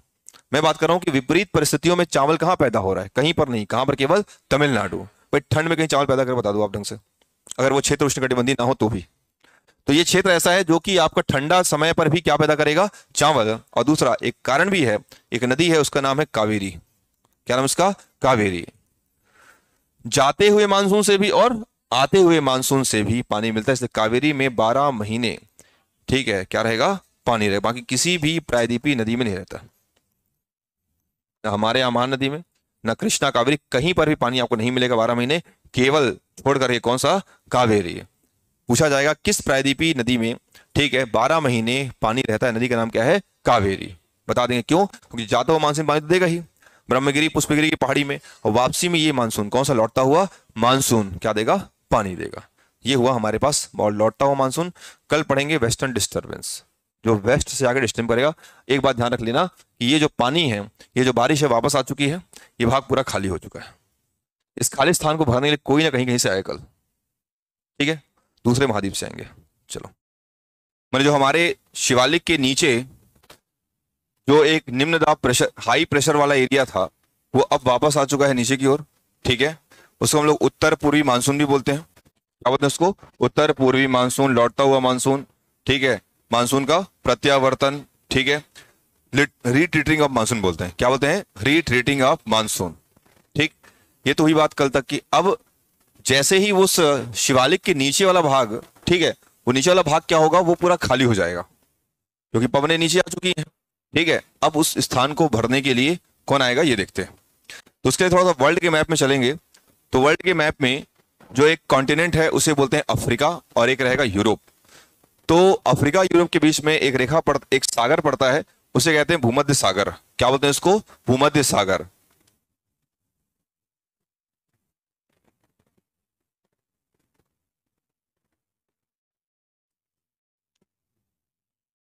भूमध्य सागर। क्या बोलेंगे उसको? भूमध्य सागर। चलो इसको लिखते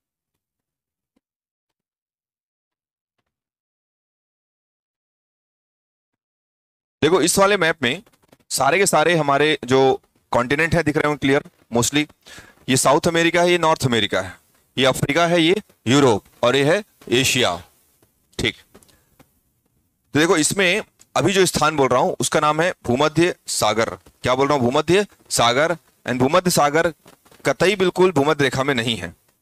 ठीक है ना? भूमध्य रेखा में नहीं है, भूमध्य सागर। ठीक, ये है। तो देखो, यहाँ पर ये मिलता है, ये अफ्रीका है और ये यूरोप है। ये यूरोप है और ये क्या रहेगा? अफ्रीका। इनके बीच में पड़ता है भूमध्य सागर। ये भाग पूरा ये भूमध्य सागर का हिस्सा है। मेडिटेरियन सी बोलते हैं इसको। ठीक? और ये हमारे पास इंडिया ये इंडिया वाला भाग।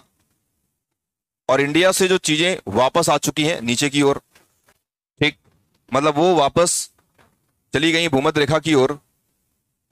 इस प्रकार से। तो जब वापस चली गई तो इस स्थान को भरने के लिए कोई तो आएगा।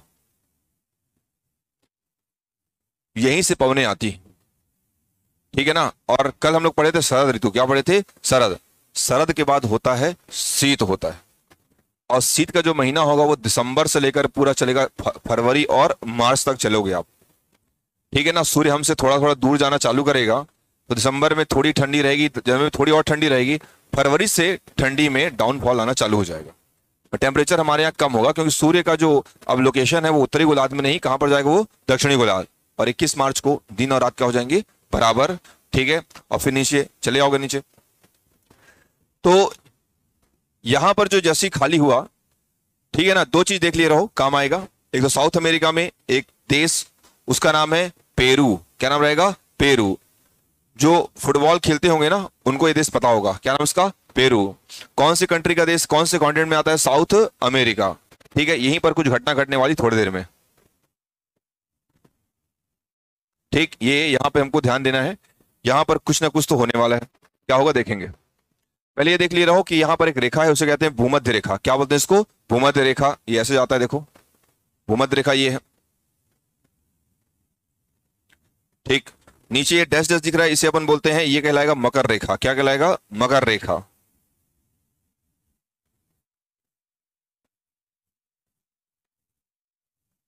ठीक, वैसे ही यहाँ पर ऊपर कहलाएगा कर्क रेखा। क्या बोलेंगे इसको? कर्क रेखा। तो अगर ध्यान से देख रहे होगे तो एक चीज़ समझ में आ रही होगी कि हमारा जो अफ्रीका महाद्वीप है, इससे तीनों रेखाएँ पास होती हैं। ये कर्क रेखा भी ऊपर वाली और भूमध्य रेखा भी, और नीचे रहेगी मकर रेखा। तीनों पास होता है। कहाँ कहाँ से आपका ऊपर कर्क, ठीक है, बीच में भूमध्य और नीचे क्या रहेगा? मकर, ये तीनों अफ्रीका से पास होता है। इसीलिए यहाँ पर बायोडाइवर्सिटी बहुत ज़्यादा है। ठीक।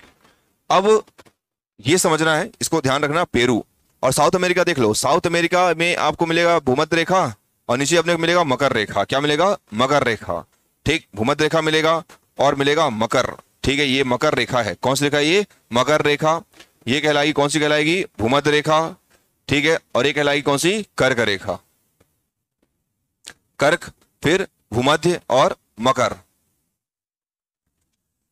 तो इन दोनों के बीच का जो एरिया है, उसे बोलते हैं उष्ण कटिबंध क्या बोलते हैं उसको? उष्ण कटिबंध ट्रॉपिकल रीजन कहलाएगा, ठीक है? उष्ण कटिबंध बोलते भी हम लोग ज़ीरो डिग्री के ऊपर साढ़े तेईस तक और ज़ीरो से नीचे कहा? साढ़े तेईस तक। कहलाएगा उष्ण कटिबंधी क्षेत्र ट्रॉपिकल रीजन बोलते हैं। अब इंडिया वाले मैप में पहले हम इसको समझते हैं कि अगर ये खाली हो गया है और उसी दौरान इस पूरे एरिया में, इस वाले एरिया में अगर हाई प्रेशर क्रिएट हो जाए, होता है उस समय पर। भूमध्य सागर है ये। क्या है भूमध्य? सागर। समझना नहीं करना भूमध्य सागर में इस दौरान हाई प्रेशर होता है और उसी दौरान हमारे शिवालिक के दक्षिण में होता है लो प्रेशर क्या होता है यहाँ पर? लो प्रेशर तो भाई पवन कहाँ से कहाँ जाती है? हाई से लेकर के लो प्रेशर मतलब इस दौरान पवने यहाँ से होते हुए यहाँ मूव करती और भारत के लिए, ये पूरा भारत यहाँ पर है तो भारत के लिए ये डायरेक्शन पड़ेगा। भारत के लिए पूर्व है और ये क्या रहेगा? पश्चिम। पश्चिम से एक बहुत तेज पवने आती हैं। इसे कहते हैं जेट स्ट्रीम क्या बोलते हैं इसको? जेट स्ट्रीम जेट स्ट्रीम नहीं, इसे बोलेंगे जेट पवन। क्या बोलेंगे इसको? जेट पवन। और जेट है मतलब स्पीड कम नहीं रही होगी, बहुत स्पीड रही होगी। अदरवाइज़ क्या होता?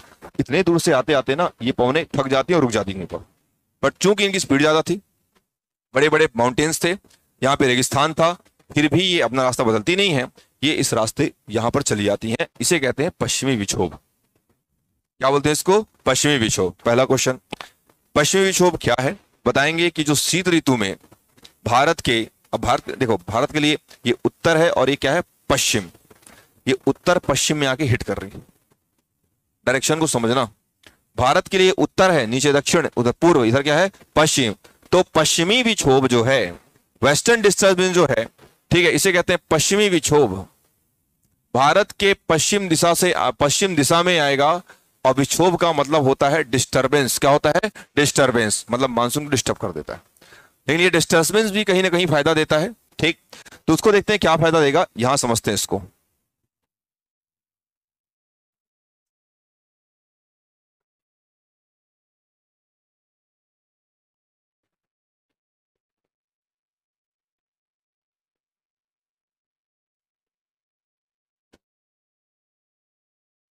तो इसमें जो अपन देख रहे थे वो रहेगा इंडिया का इधर वाला भाग, भारत का उत्तर पश्चिमी वाला भाग। और वहीं पर आके यहाँ से, यहाँ हम लोग बनाए थे भूमध्य सागर। क्या बनाए थे? भूमध्य सागर। तो इस भूमध्य सागर से हमको पवनों को खींच के लेके जाना है, ठीक है, भारत की ओर। और ये जो पवने हैं ये पौने जिन राज्यों में जाके लाभकारी होती हैं, जिन राज्यों में जाके फ़ायदा देती हैं, वो राज्य थोड़ा जम्मू कश्मीर रहेगा। यहीं पर पड़ता है पंजाब, ठीक है, इसके बाजू में पड़ेगा हरियाणा, ठीक है, यहीं पर रहेगा थोड़ा सा दिल्ली, ठीक है, यहाँ रहेगा उत्तर प्रदेश, ठीक है, वेस्टर्न उत्तर प्रदेश। ठीक है, और यहाँ रहेगा राजस्थान, क्या रहेगा ये? राजस्थान, उत्तरी राजस्थान। इन राज्यों में ये जो हमारे भारत में आने वाला जो पश्चिमी विक्षोभ जो है, ये प्रभाव डालता है।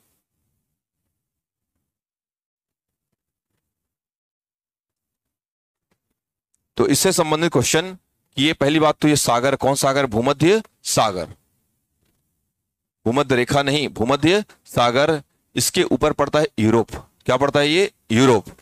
और नीचे क्या पड़ेगा अपने को? अफ्रीका। क्या बोला? अच्छा ठीक। ठीक है।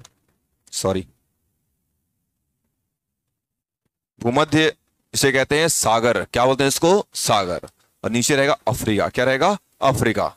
ठीक है? तो पश्चिमी विक्षोभ के बारे में क्वेश्चन पहला, कि इसका समय क्या रहता है? तो भाई, समय रहता है शीत ऋतु का। किसका रहेगा? शीत ऋतु का।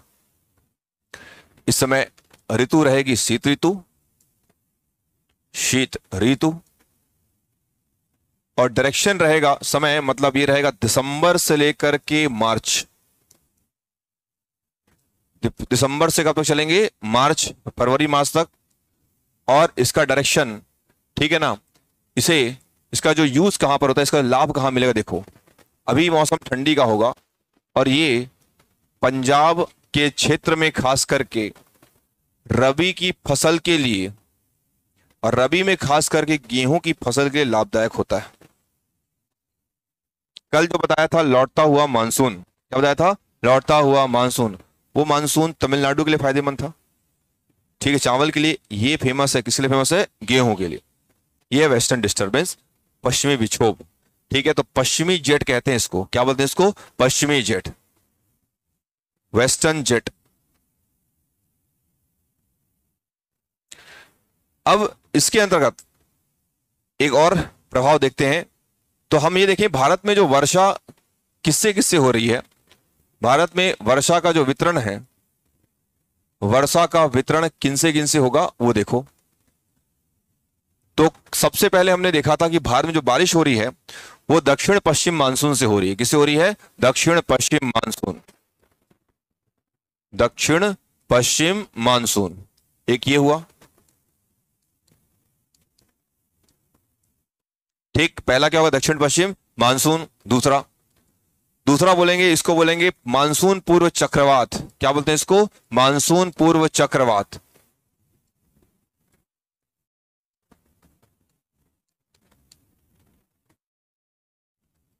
तीसरा, ये कहलाता है, इसे बोलेंगे लौटता हुआ मानसून। क्या बोलेंगे? लौटता हुआ मानसून। इससे ही पानी गिरता है। हुआ मानसून। और चौथा कहलाएगा अभी, जो आया था पश्चिमी विक्षोभ।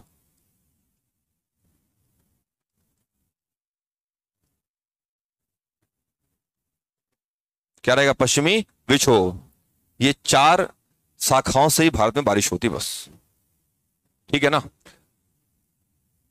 यहाँ पर 75 परसेंट का कंट्रीब्यूशन ये देगा, बाकी बचा खुचा 25 परसेंट तीनों मिलकर बांट लेंगे।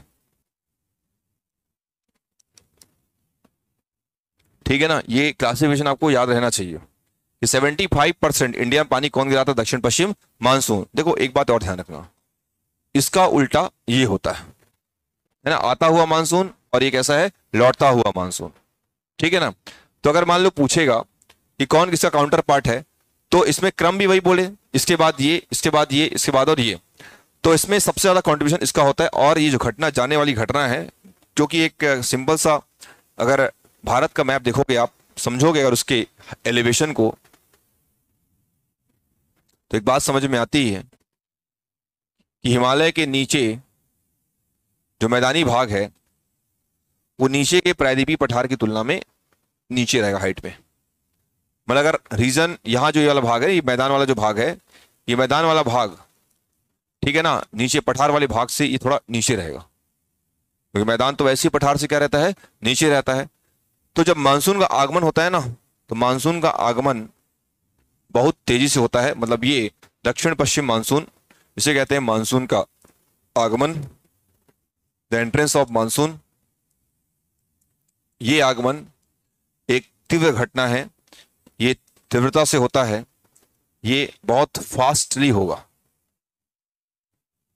बहुत तेज़ी से आएगा। लेकिन जब वही मानसून लौटता है मतलब इसकी बात कर रहे हैं तो मानसून फिर लौटेगा धीरे धीरे।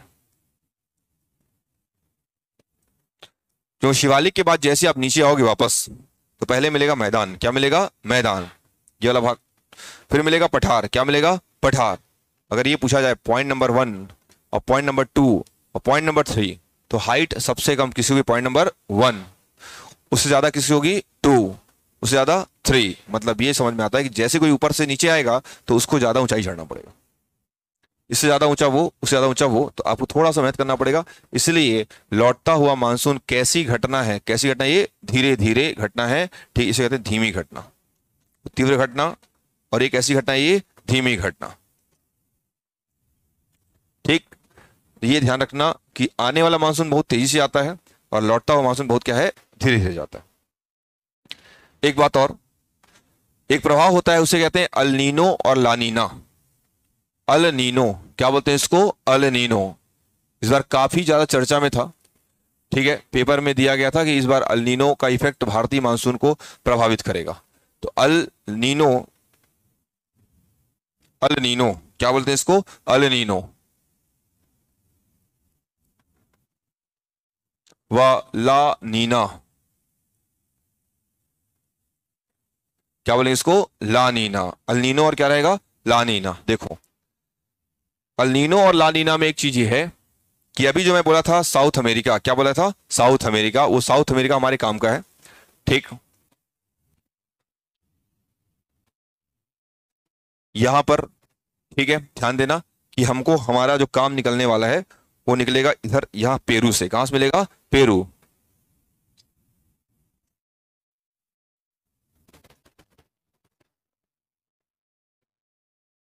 तो अब देखो, एक बात तो भूमध्य रेखा आपने पढ़ा है पहले।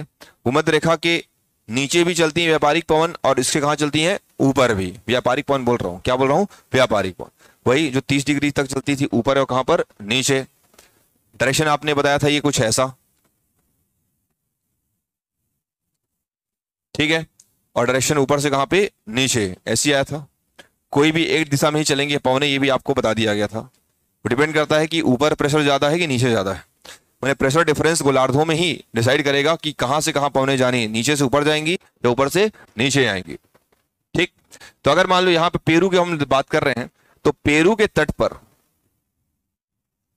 जब हम लोग वर्ल्ड के मैप में पढ़ेंगे जलधाराओं के बारे में, उस समय पर, देखो, यहाँ पर जो ये हमारे पास ये मिल रहा है, ये जो भाग है, इस वाले भाग को कहते हैं पेरू। क्या बोलते हैं इसको? पेरू।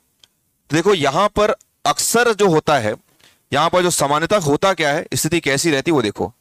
यहाँ पर सामान्यतः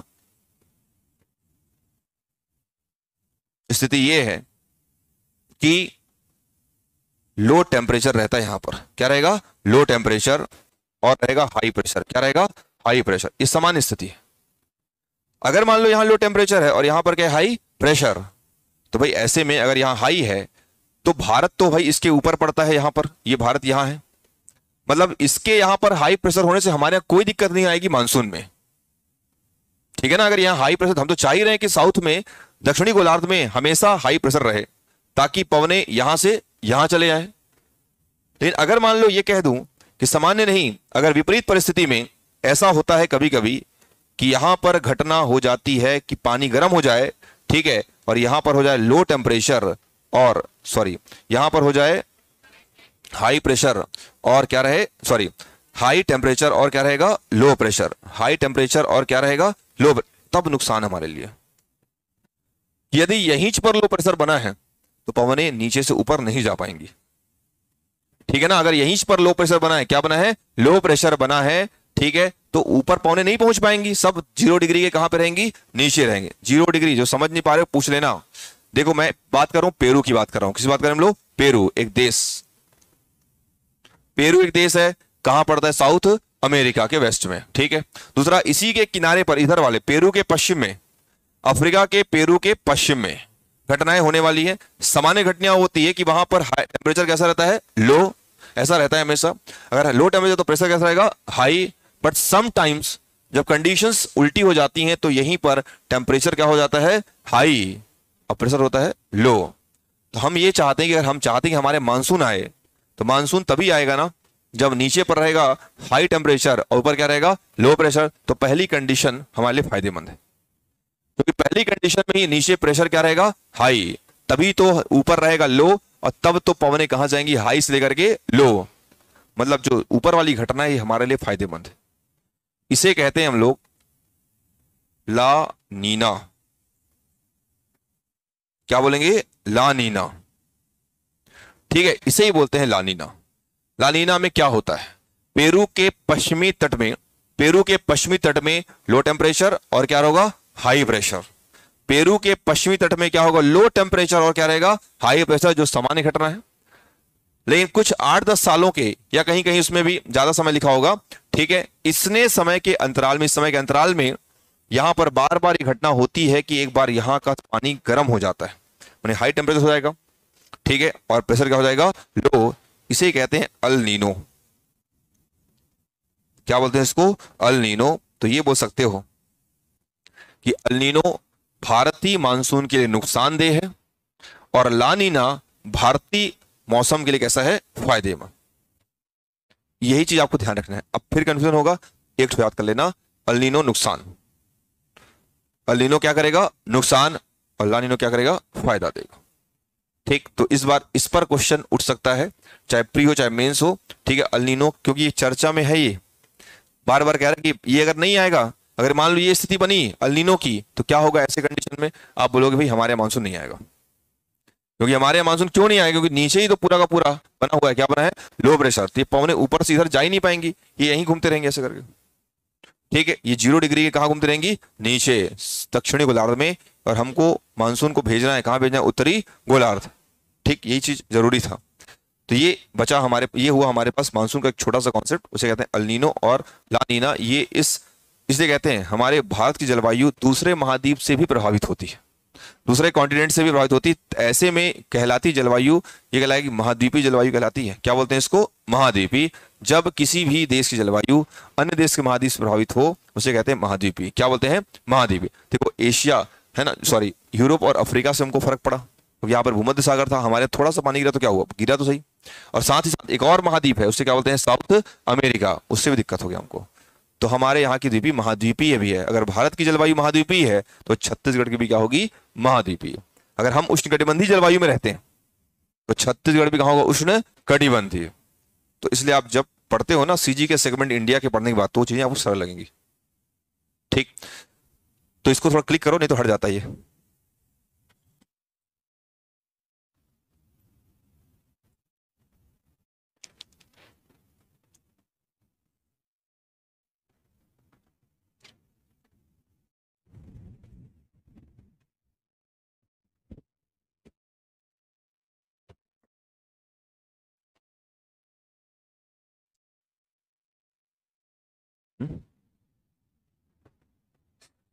आ चुका है ना कई बार।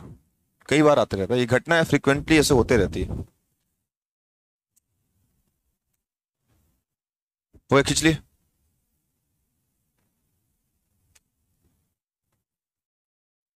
चलो।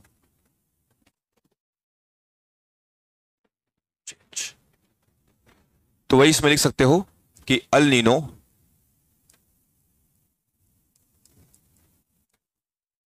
व लानीना तो अल्नीनो की घटना ये भारतीय मानसून के लिए कैसी होगी? हानिकारक। कोई भी एक याद कर लेना। अगर टिक मारने से मतलब है प्री में। तो ये भारतीय मानसून के लिए निगेटिव और ये कैसा होगा? ये पॉजिटिव और ये जो घटना है, ये दक्षिण अमेरिका के, है ना? दक्षिण अमेरिका कौन सी दिशा में पेरू? पश्चिम। दक्षिण अमेरिका के देश पेरू। पश्चिमी देश पेरू के पश्चिम में। यह घटना घटेगी और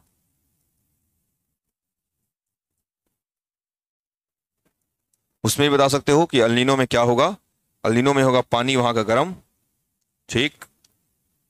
अलिनो में, ठीक है, तट में हाई टेम्परेचर और लो प्रेशर और लानिनो में, तट में क्या होगा वहाँ पर? लो टेम्परेचर और हाई प्रेशर बस। ठीक। ये मानसून ओवर देखो, एक चीज़ और है, जिसे कहते हैं मानसून विस्फोट। क्या बोलते हैं मानसून विस्फोट? और एक कहलाता है मानसून विच्छेद। से आप लोग संस्कृत में पढ़ते हो हिंदी में पढ़ते हो संधि विच्छेद। क्या है? संधि विच्छेद। टूटना। हम कहते हैं, संधि विच्छेद करिए। शब्दों को क्या करिए? तोड़िए और बताइए। ठीक है? तो मानसून विच्छेद मतलब फिर वही बात है। अगर मानसून आया है, और बीच में मान लो दस से बारह दिन रुक गया, फिर आ रहा है, फिर रुक जा रहा है तो उस दस से बारह दिन के समय को बोलते हैं मानसून विच्छेद। मानसून की आवृत्ति में। मानसून की आवृत्ति या मानसून की फ्रीक्वेंसी में 10-12 दिनों का अंतराल। अंतराल। क्या बोलते हैं इसको? मानसून विच्छेद। मानसून विस्फोट। अचानक से पानी गिरना, ठीक है? मानसून का यकायक भारतीय भूमि में प्रवेश।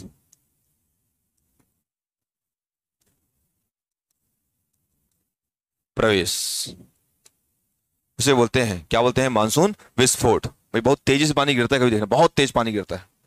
ठीक है मतलब नॉन स्टॉप और बिना किसी इंटेंसिटी में कम ज़्यादा हुए। मानसून में देखो एक बात, कि भारत की जो मानसून है, जो भारतीय मानसून है, मानसून,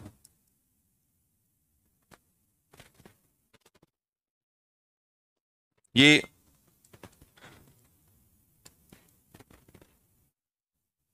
उष्ण कटिबंधी है कैसी है?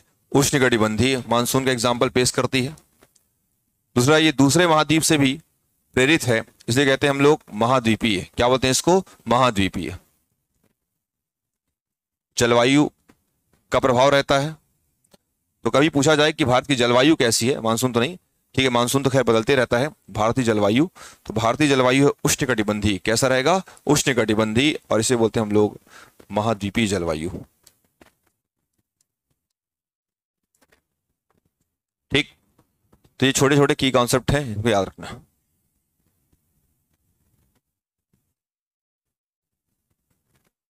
ठीक है।